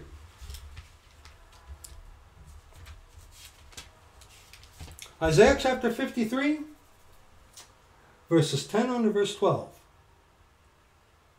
Yet it pleased the Lord to bruise him. He hath put him to grief. He hath put him to grief. My God, my God, why hast thou forsaken me? He hath put him to grief, when thou shalt make his soul an offering for sin. He shall see his seed. He shall prolong his days, and the pleasure of the Lord shall prosper in his hand. A seed shall serve him. These are they that keep the commandments of God and the faith of Jesus.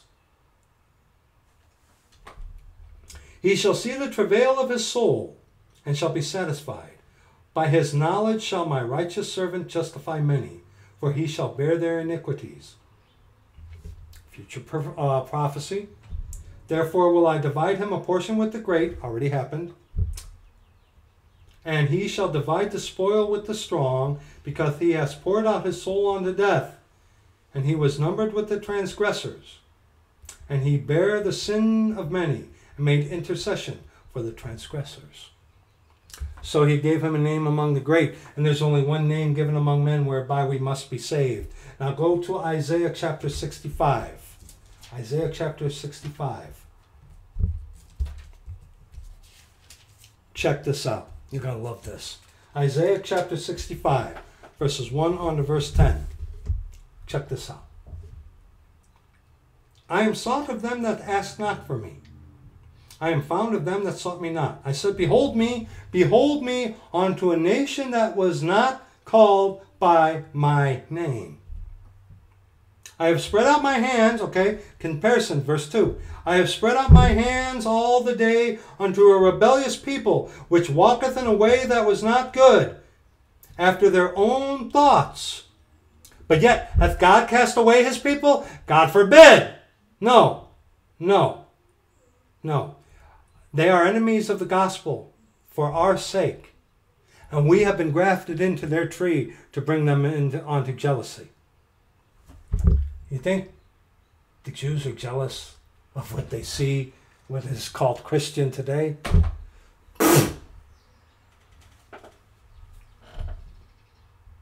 I have spread out my hands all the day unto a rebellious people, which walketh in a way that is not, that was not good, after their own thoughts a people that provoketh me to anger continually to my face, that sacrificeth in gardens, and burneth incense upon altars of brick. which remain among the graves, dead. And lodge in the monuments, which eat swine's flesh, and broth of abominable things is in their vessels, which say, Stand by thyself, come not near to me, for I am holier than thou. These are a smoke in my nose, a fire that burneth all the day. A smoke in God's nose, a fire that burneth all the day. You can also tie, uh, um, tie this in to the Holocaust of the Jew. Okay? Behold, it is written before me, I will not keep silence, but I will recompense with an S, even recompense into their bosom. Recompense with an S. Verb. Recompense with a C. Noun. Your iniquities and the iniquities of your fathers together, saith the Lord. Wait. Your iniquities and the iniquities of your fathers together, saith the Lord, which have burned incense upon the mountains and blasphemed me upon the hills. Therefore will I measure their former work into their bosom. Time of Jacob's trouble in comparison to the Holocaust of the Jew during World War II, the Holocaust of the Jew of World War II is going to look like nothing in comparison to the time of Jacob's trouble, the Holocaust that is coming soon enough. It's going to dwindle in comparison. Thus saith the Lord, as the new wine is found in the cluster, and one saith, Destroy it not, for a blessing is in it, so will I do for my servant's sake, that I may not destroy them all. A seed shall serve me. Okay? And note the new wine is found in the cluster. And our Lord says, I am the vine, abide in me, because you cannot do anything unless you abide in me. And if you read Romans chapter 11, how it talks about being grafted into an olive tree. Okay? And I will bring forth a seed out of Jacob, and out of Judah an inheritor of my mountains. And mine elect shall inherit it, and my servants shall dwell there. This is not talking about Calvinism, okay? This is future prophecy to be fulfilled, okay? His elect, okay? He chose the way of the cross, okay? Our Lord Jesus Christ, God our Father, the anointed one, okay? This is future prophecy. I will bring forth a seed out of Jacob, and out of Judah an inheritor of my mountains, our Lord Jesus Christ. And mine elect shall inherit it, and my servants shall dwell there. And Sharon shall be a fold of flocks, and the valley of Achor a place for the herds to lie down in. For my people that have sought me. For my people that have sought me. Paul says, and all Israel shall be saved. But we know that not all Israel is going to, during the time of Jacob's trouble, turn unto the Lord. But that remnant, those that are left, those that are surviving during that horrific time, okay, that is all of Israel that will be saved, okay? For my people that have sought me. See, midway during the uh, time of Jacob's trouble, that man of sin, the son of perdition, is going to go into the third rebuilt temple, looking, I believe, like the Catholic Jesus, saying, I am your God. And then the Jews, uh, some of them, you know, there are going to be Jews, obviously, that take the mark of the beast in their right hand or in their forehead. They're gone. But those that don't, those that seek him, they're going to be like, uh oh, wait a minute. That, that, no. Then they're going to realize that the authorized version of the Scripture is God's Word, and that we, the Church of the Living God, that gets caught up before that time, we're telling them the truth. Then they're going to get it. And I believe it's midway through. When they see the abomination that maketh desolate, he who readeth, let him understand. Okay? But ye are they that forsake the Lord that forget my holy mountain, that prepare a table for that troop, and that furnish the drink offering unto that number. Therefore will I number you to the sword, and ye shall all bow down to the slaughter. Because when I called, ye did not answer. When I spake, ye did not hear, but did evil before mine eyes, and did choose that wherein I delighted not.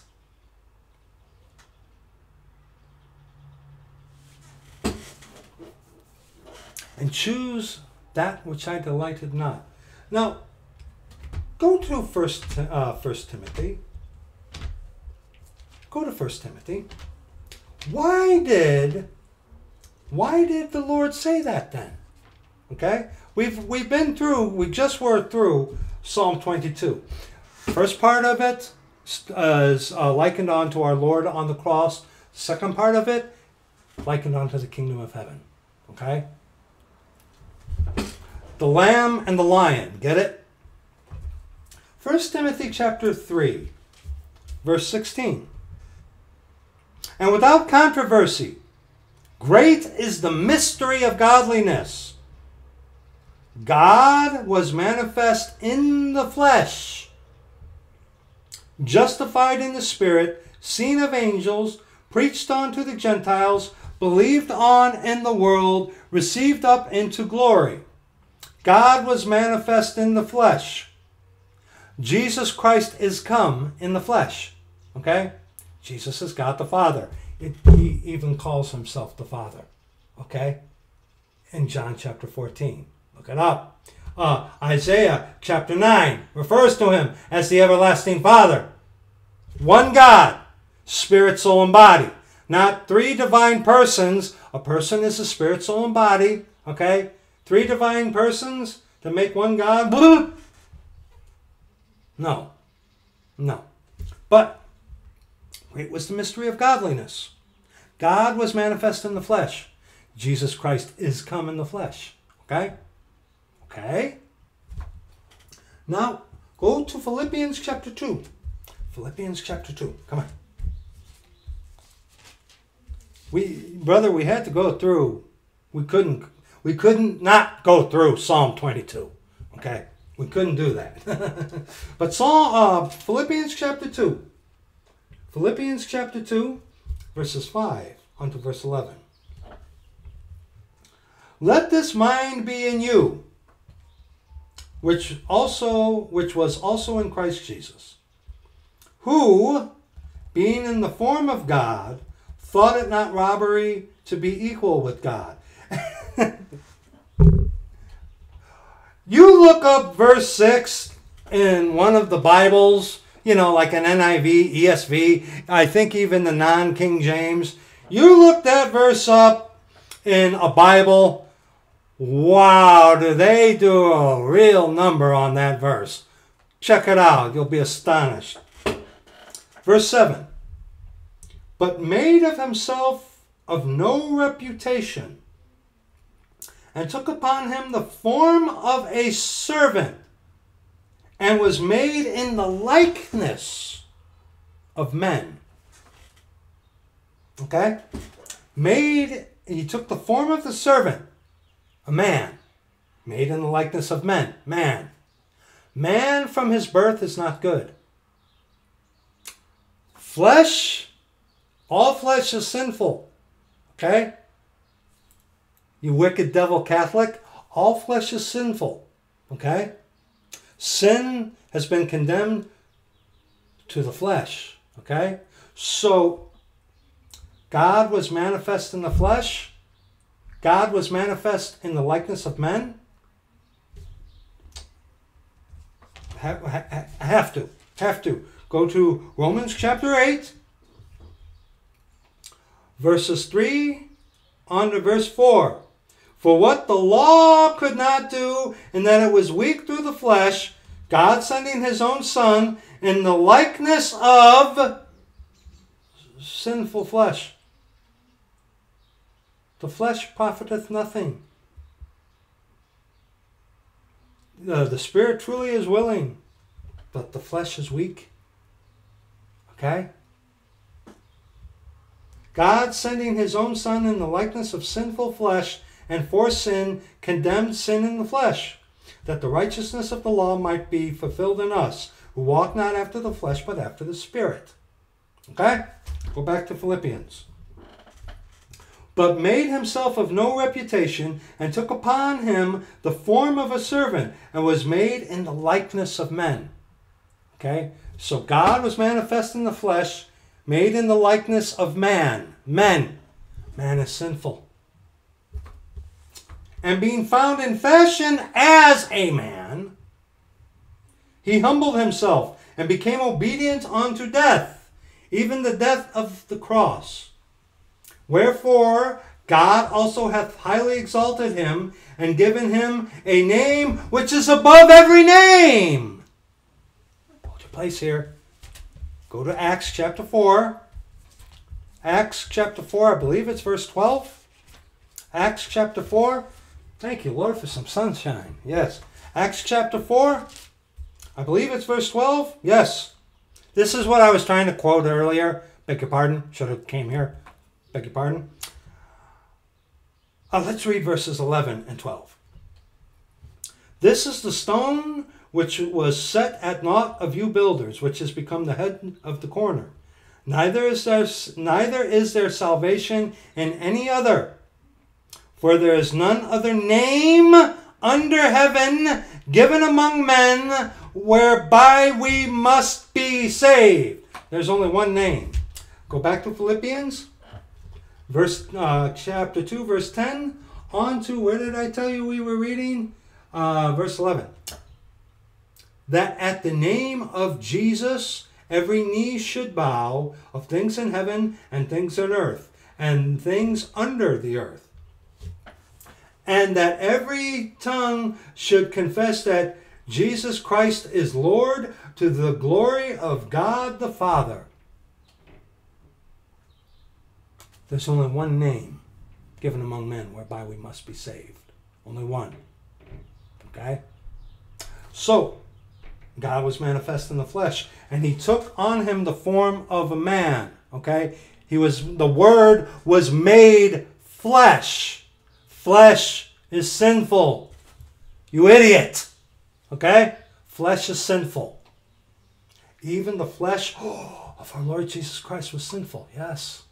Okay? But, but, okay? Now go to Second Corinthians chapter 5. 2 Corinthians chapter 5. Verse 21. For he hath made him to be sin for us who knew no sin. And we already read in uh, Isaiah chapter 53. Okay? He never sinned, but God will provide himself a lamb for burnt offering.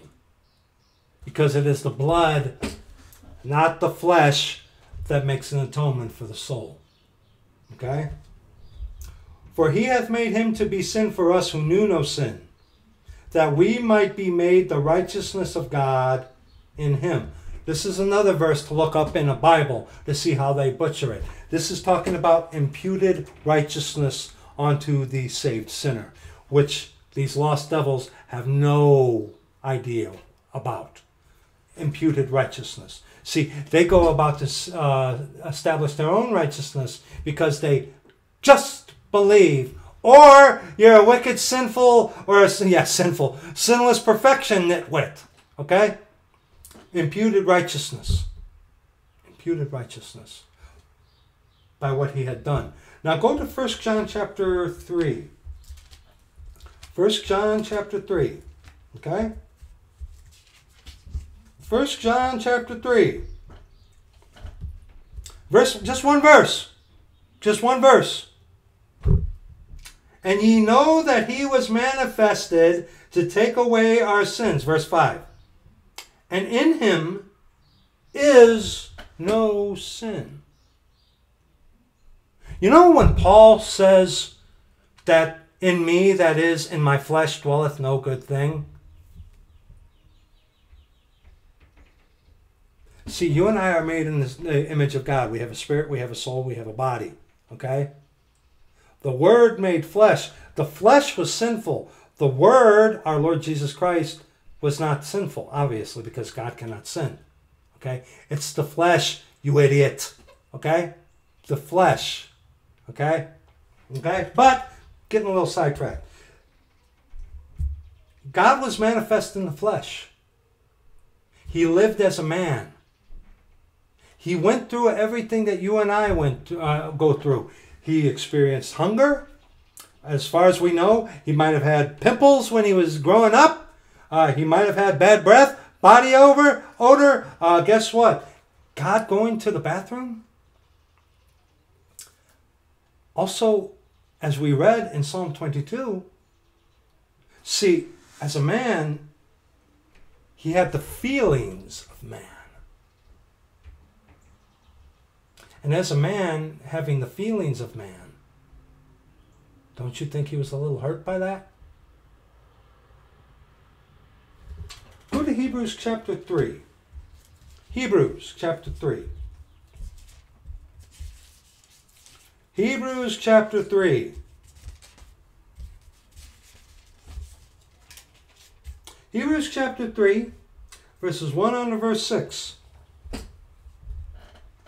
Wherefore, holy brethren, partakers of the heavenly calling, consider the apostle and high priest of our profession, Christ Jesus, who was faithful to him that appointed him, as also Moses was faithful in all his house.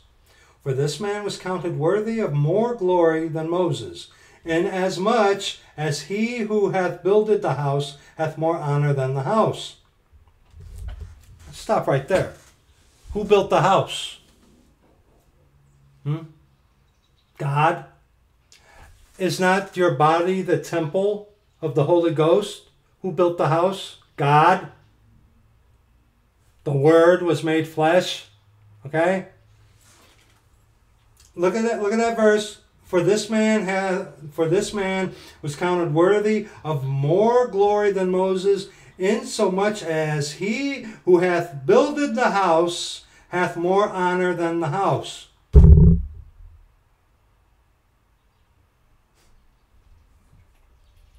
For every house is builded by some man, but he that built all things is God.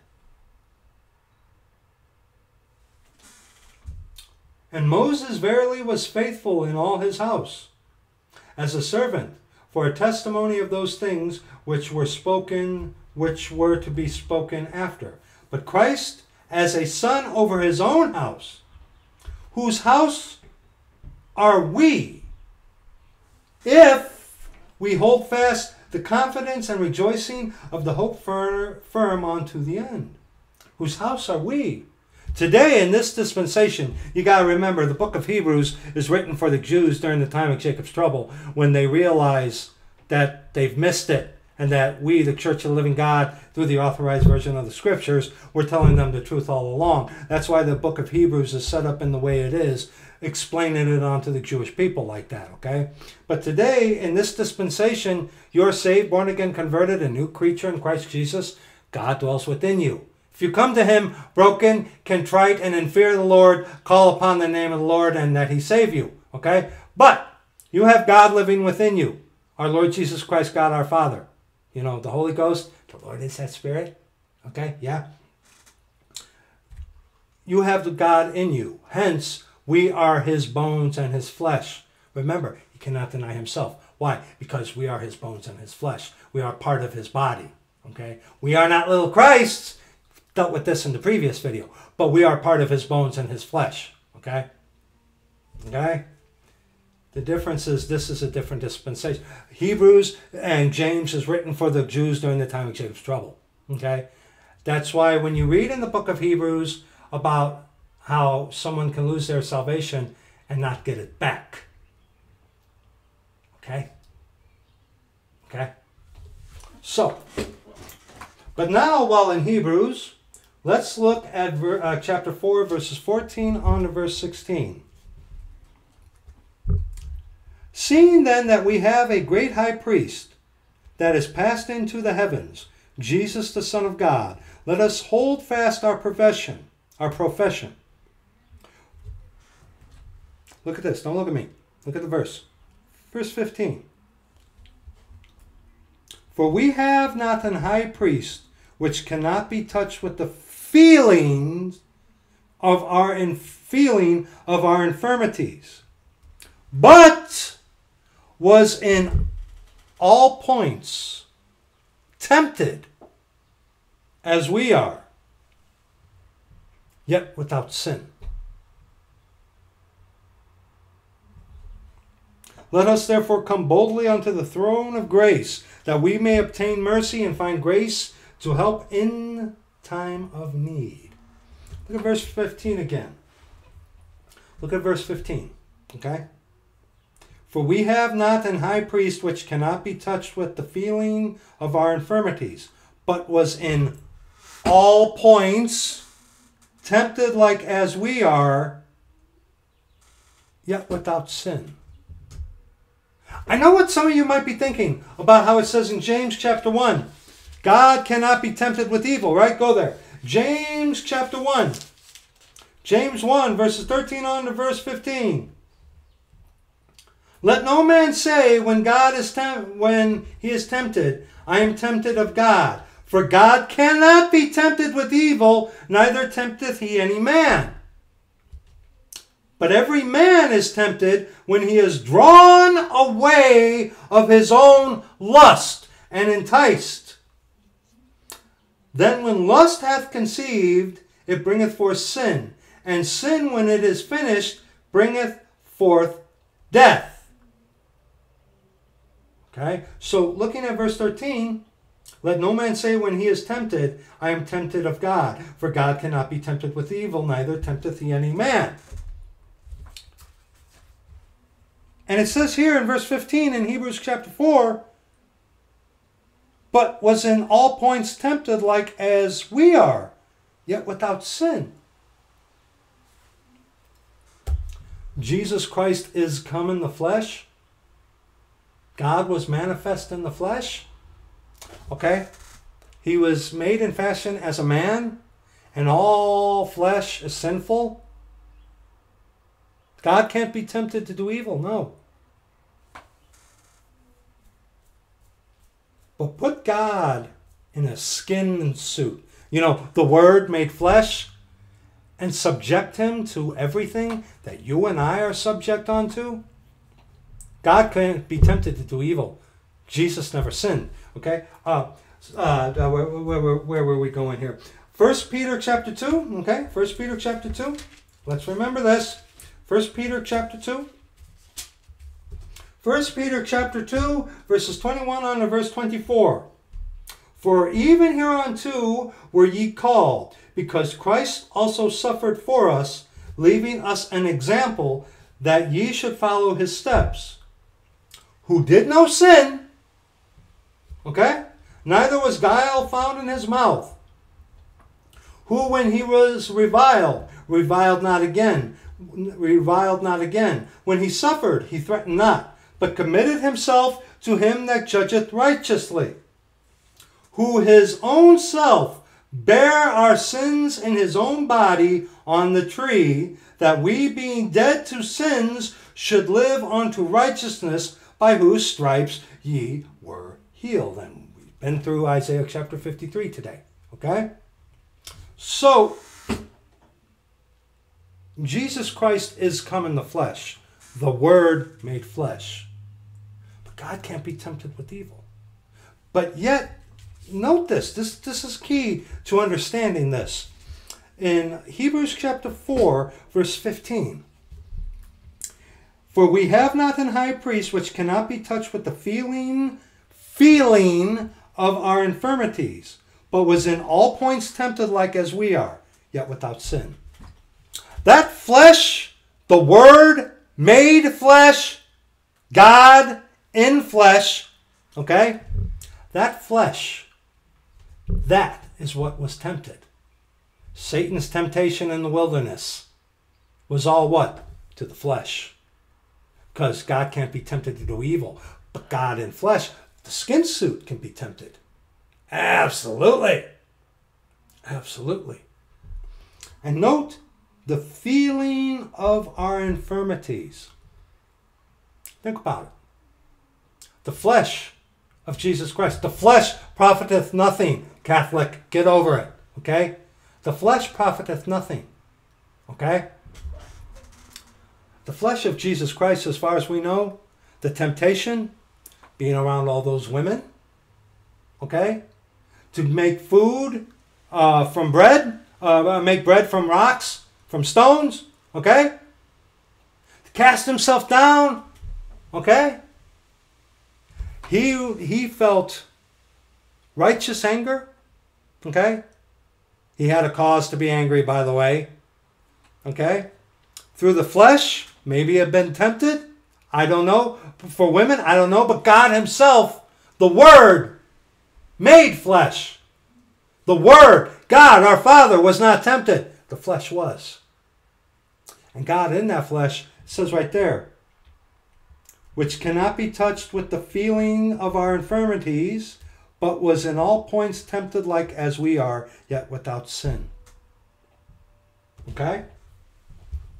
Go to Matthew chapter 26. Matthew chapter 26. Matthew chapter 26, verses 36 on to verse 46. Then cometh Jesus with them unto a place called Gethsemane, and saith unto the disciples, Sit ye here while I go and pray yonder. And he took with him Peter and the two sons of Zebedee, thank you, brother, and began to be very and began to be sorrowful and very heavy. Then saith he unto them, My soul, God the Father, soul of the Godhead, is exceeding sorrowful, even unto death. Tarry ye here, and watch with me. And he went a little further, and fell on his face, and prayed, saying, O my Father, if it be possible, let this cup pass from me. Nevertheless, not as I will, but as thou wilt.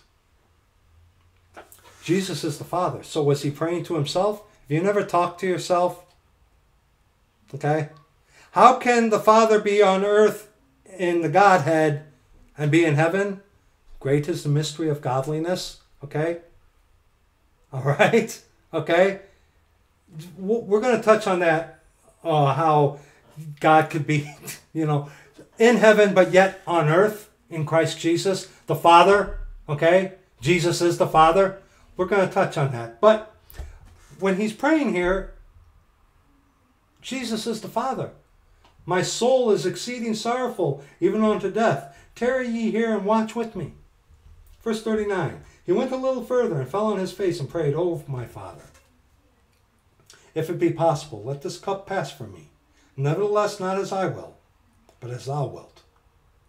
Now, Christ on the cross, you know, Christ going to the cross, he felt every whip, lash, punch, slap, kick, spit, crown, nail. He felt it all. What was troubling him?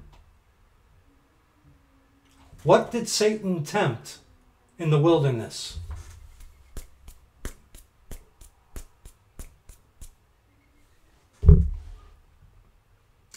And he cometh unto his disciples, and findeth them asleep, and saith unto Peter, What?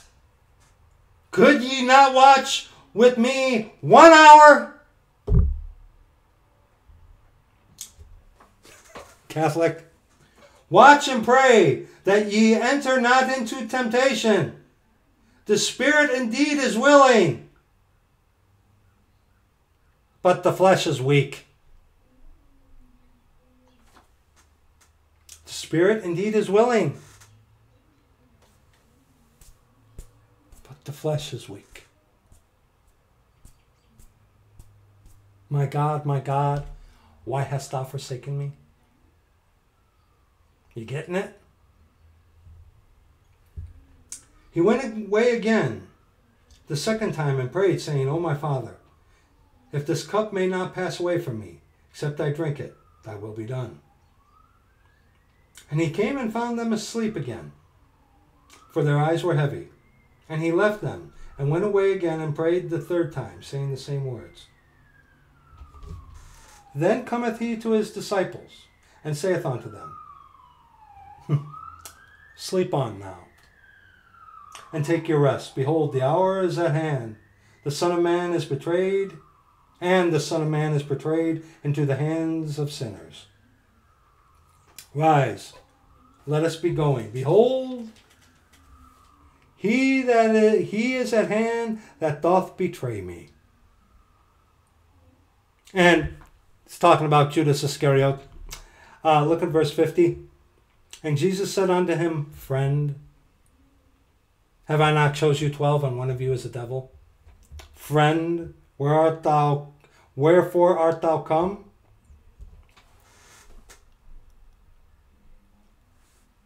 And also, while we're here, Peter, you know, in the garden takes a sword out and goes and lops off Malchus's ear. And look at what Jesus says from verses 52 on to verse 56. Then said Jesus unto him, Put up again thy sword into his place, for all they that take the sword shall perish with the sword. Thinkest thou that I cannot now pray to my Father, and he shall presently give me more than twelve legions of angels? But how then shall the scriptures be fulfilled that thus it must be? In that same hour, Jesus said Jesus to the multitudes, Are ye come out as against a thief with swords and staves for to take me? I sat daily with you teaching in the temple, and ye laid no hold on me. But all this was done, that the scriptures of the prophets might be fulfilled. Then all the disciples forsook him and fled. Smite the shepherd, and the sheep will be scattered. Verse 54 But how then shall the scriptures be fulfilled that thus it must be? He was wounded for our transgressions, he was bruised for our iniquities. Matthew chapter 27, where we began, verse, verse 46. And about the ninth hour, Jesus cried with a loud voice, saying, Eli, Eli, lama sabachthani. That is to say, My God, my God, why hast thou forsaken me? That's he's Godhead, spirit, soul, and body. The Holy Ghost, the Father, the Word made flesh. Okay? Why did he say, My God, my God, why hast thou forsaken me? Jesus Christ is come in the flesh. God was manifest in the flesh. He went through everything that you and I went through. He experienced every temptation through flesh. Because God, remember, cannot be tempted with evil. But God in flesh, this flesh can be tempted. Oh, yeah. And remember, Satan, um, what is it? Uh, what, what is that? Matthew chapter 16, right? Matthew chapter 16. Uh, yeah, Matthew chapter 16, verse 23. Remember this, okay? when you deal with these disgusting Catholics. But he turned and said unto Peter, uh, Matthew 16, verse 23, Get thee behind me, Satan. Thou art an offense unto me, for thou savorest not the things that be of God, but those that be of men. Flesh, boy. That's what Satan's all about. Flesh. So God manifest in flesh on the cross, who went through everything that you and I have gone through, who's experienced every temptation like you and I have. But God can't be tempted. Have you been reading with me? Okay? It's it's this that was tempted. It was this, the flesh in the Garden of Gethsemane. It was this, the flesh my God, my God, why hast thou forsaken me?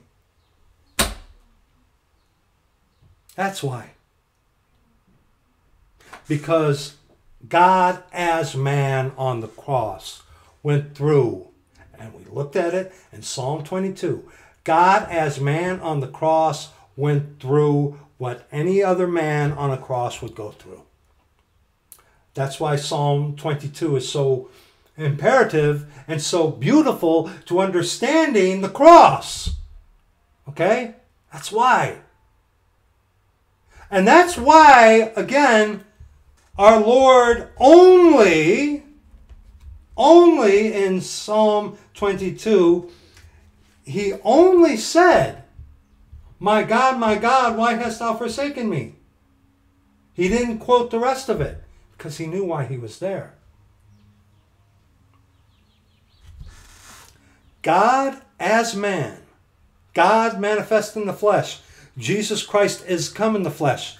On the cross, God as man went through everything that you and I have gone through. Every temptation. Every everything. Okay? God doesn't know how I feel. Yes, he does. Because he's been through it. You might be saying, well, there's different things that we go through today that they didn't go through. In some sense, you're right, but what's the basis of it? What's the basis of your problem? Death, sorrow, and sin. That's it. Okay? Death, sorrow, and sin. Shock it up to one of those three, buddy. Death, sorrow, and sin. That's it. He was a man of sorrows, acquainted with grief. He died, buried, and rose again the third day according to the scriptures. And because of our sin, because of our sin, he died on the cross. Because of what you did. It's your fault. Yeah, it's my fault too. I already know that.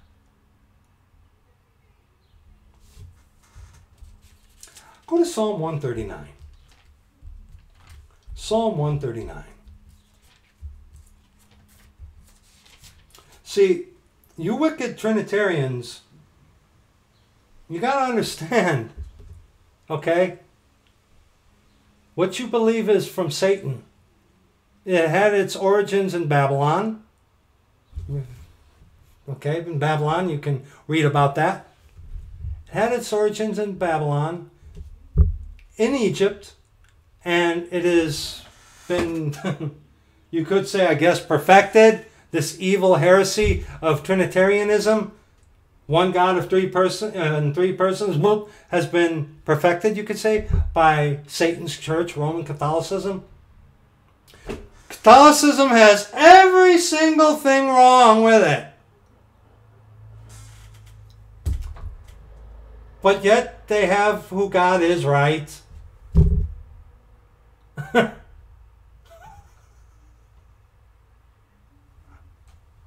I guess one out of a million, huh? Yeah, Catholicism is wrong on everything else. But who God is? One God in three persons? They got that right? Oh, I guess they must be Christians then, huh? You're right, they are Christians. Yeah. Yeah. Yeah, they are. I'm not. Thank you. Okay? Psalm 139. You know, we as finite man can't grasp, even though it's told us, even though we believe this, we can't grasp just how big God is. See, Satan is a created being. He's not as big as God. Hardly. Was it he uh, the the Lord measures the world by the span of his hand? Okay? We are as grasshoppers in his sight. Hmm? Psalm 139, verses 1 under verse 12. Then we'll be done. O Lord, thou hast searched me and known me. Thou knowest my downsitting and mine uprising. Thou understandest my thought afar off. God knows your thoughts. Satan doesn't know your thoughts. Thou compassest my path and my lying down, and art acquainted with all my ways. For there is not a word in my tongue, but lo, O Lord, thou knowest it altogether. Thou hast beset me behind and before, and laid thine hand upon me. Great is the mystery of godliness. Such knowledge is too wonderful for me. It is high. I cannot attain unto it. Like, you know, Paul being caught up to the third heaven and seeing things that it's not lawful for a man to utter. Yet that little Colin Burpo kid can come down and talk about how he's been to heaven. Jesse Duplantis and all these weirdos. I've seen God, been to heaven. Yeah, shut up. Yeah. Verse 7. Whither shall I go from thy spirit? Or whither shall I flee from thy presence? If I ascend up into heaven, thou art there. If I make my bed in hell, behold, thou art there. I mean, God's everywhere. Who do you think runs hell? It, it isn't Satan. Okay? If I take the wings of the morning and dwell in the uttermost parts of the sea, even there shall thy hand lead me, and thy right hand, reference unto our Lord Jesus Christ, shall hold me. If I say, Surely the darkness shall cover me, even the night shall be light about me. Yea, the darkness hideth not from thee, but the night shineth as the day. The darkness and the light are both alike to thee.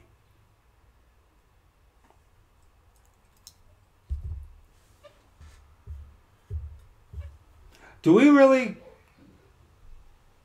do we really understand just how big God is? See, a lot of the problem is a lot of people like to make God into their own little image and confine God to a little Mary statue or to a Buddha statue or to the Eucharist cookie that they worship. Um, God is far bigger than our little finite minds can imagine. Heaven is his throne. The earth is his footstool. What house will you build me? He says. But yet, as big as God is, Jesus Christ is come in the flesh. Great is the mystery of godliness. God was manifest in the flesh. All that bigness contained in one unit, so that means that all the bigness of God doesn't exist unless it was in just no. Great is the mystery of godliness, dear friend. I, I I'm I'm I I I read this, okay, but yet I still can't comprehend just how huge God is. And see, our problem is that we like to think we're as big as God is or make God down to our size. Thou thoughtest I, I was altogether such a one as thyself. That's Psalm 50, I believe. But see, God was like us in that he was manifest in flesh. But he never sinned. He can't sin. The temptation that our Lord Jesus Christ, God our Father, endured and suffered was temptation against the flesh. Not himself personally, but the flesh. See? The flesh. The spirit is willing, but the flesh is weak. The flesh profiteth nothing. So, God on the cross as a man, and as we read in Psalm 22, because he was found in fashion as a man. He had the feelings of a man. Okay? You know, Jesus wept. He got angry because he had a cause. Okay? As a man, as we saw in Psalm 22, that's why he said on the cross, My God, my God, why hast, why hast thou forsaken me? Because he was there doing what he was supposed to do. Because God provided himself a lamb for burnt offering. And as a man on the cross, that's why he said that. That's why. I hope that I hope this explanation helps you, brother. I hope so. Um, I hope so. This was a beautiful, uh, beautiful question, and as you've seen, diverted us into several rabbit trails. But yeah, it's going to be it for this video. Um, thank you so much for watching this. If you do, thank you to all you brethren, uh, Church of the Living God, who pray for us. Thank you for your prayers. Please continue to pray for us. Um, please continue to pray for us. We pray for so many of you. We pray for so many of you. Um, also, too, I want to quickly make mention. Um, if I have not gotten to your email, if I have not watched your video yet, um, there's a young man who sent me a video of his testimony that I I, I have not watched that yet. I'm sorry. Um, we, we have things going on. Okay. Again, if I have not gotten to your email, if I have not gotten to your question, this, please continue to be patient with your servant. Okay? Please. Lord willing, we'll get there. Okay? But uh, thank you. Thank you so very much. Thank you, our brothers and sisters in Christ Jesus. We love you so very much. This is going to be it for this video. And um, hopefully, Lord willing, there will be another video either Sunday or Monday. Um, slowing it down a little bit, a little bit, um, but by no means. by no means. Got lots coming yet. So, thank you, brother. We love you. Hopefully this has helped. And we will see you in the next video, okay?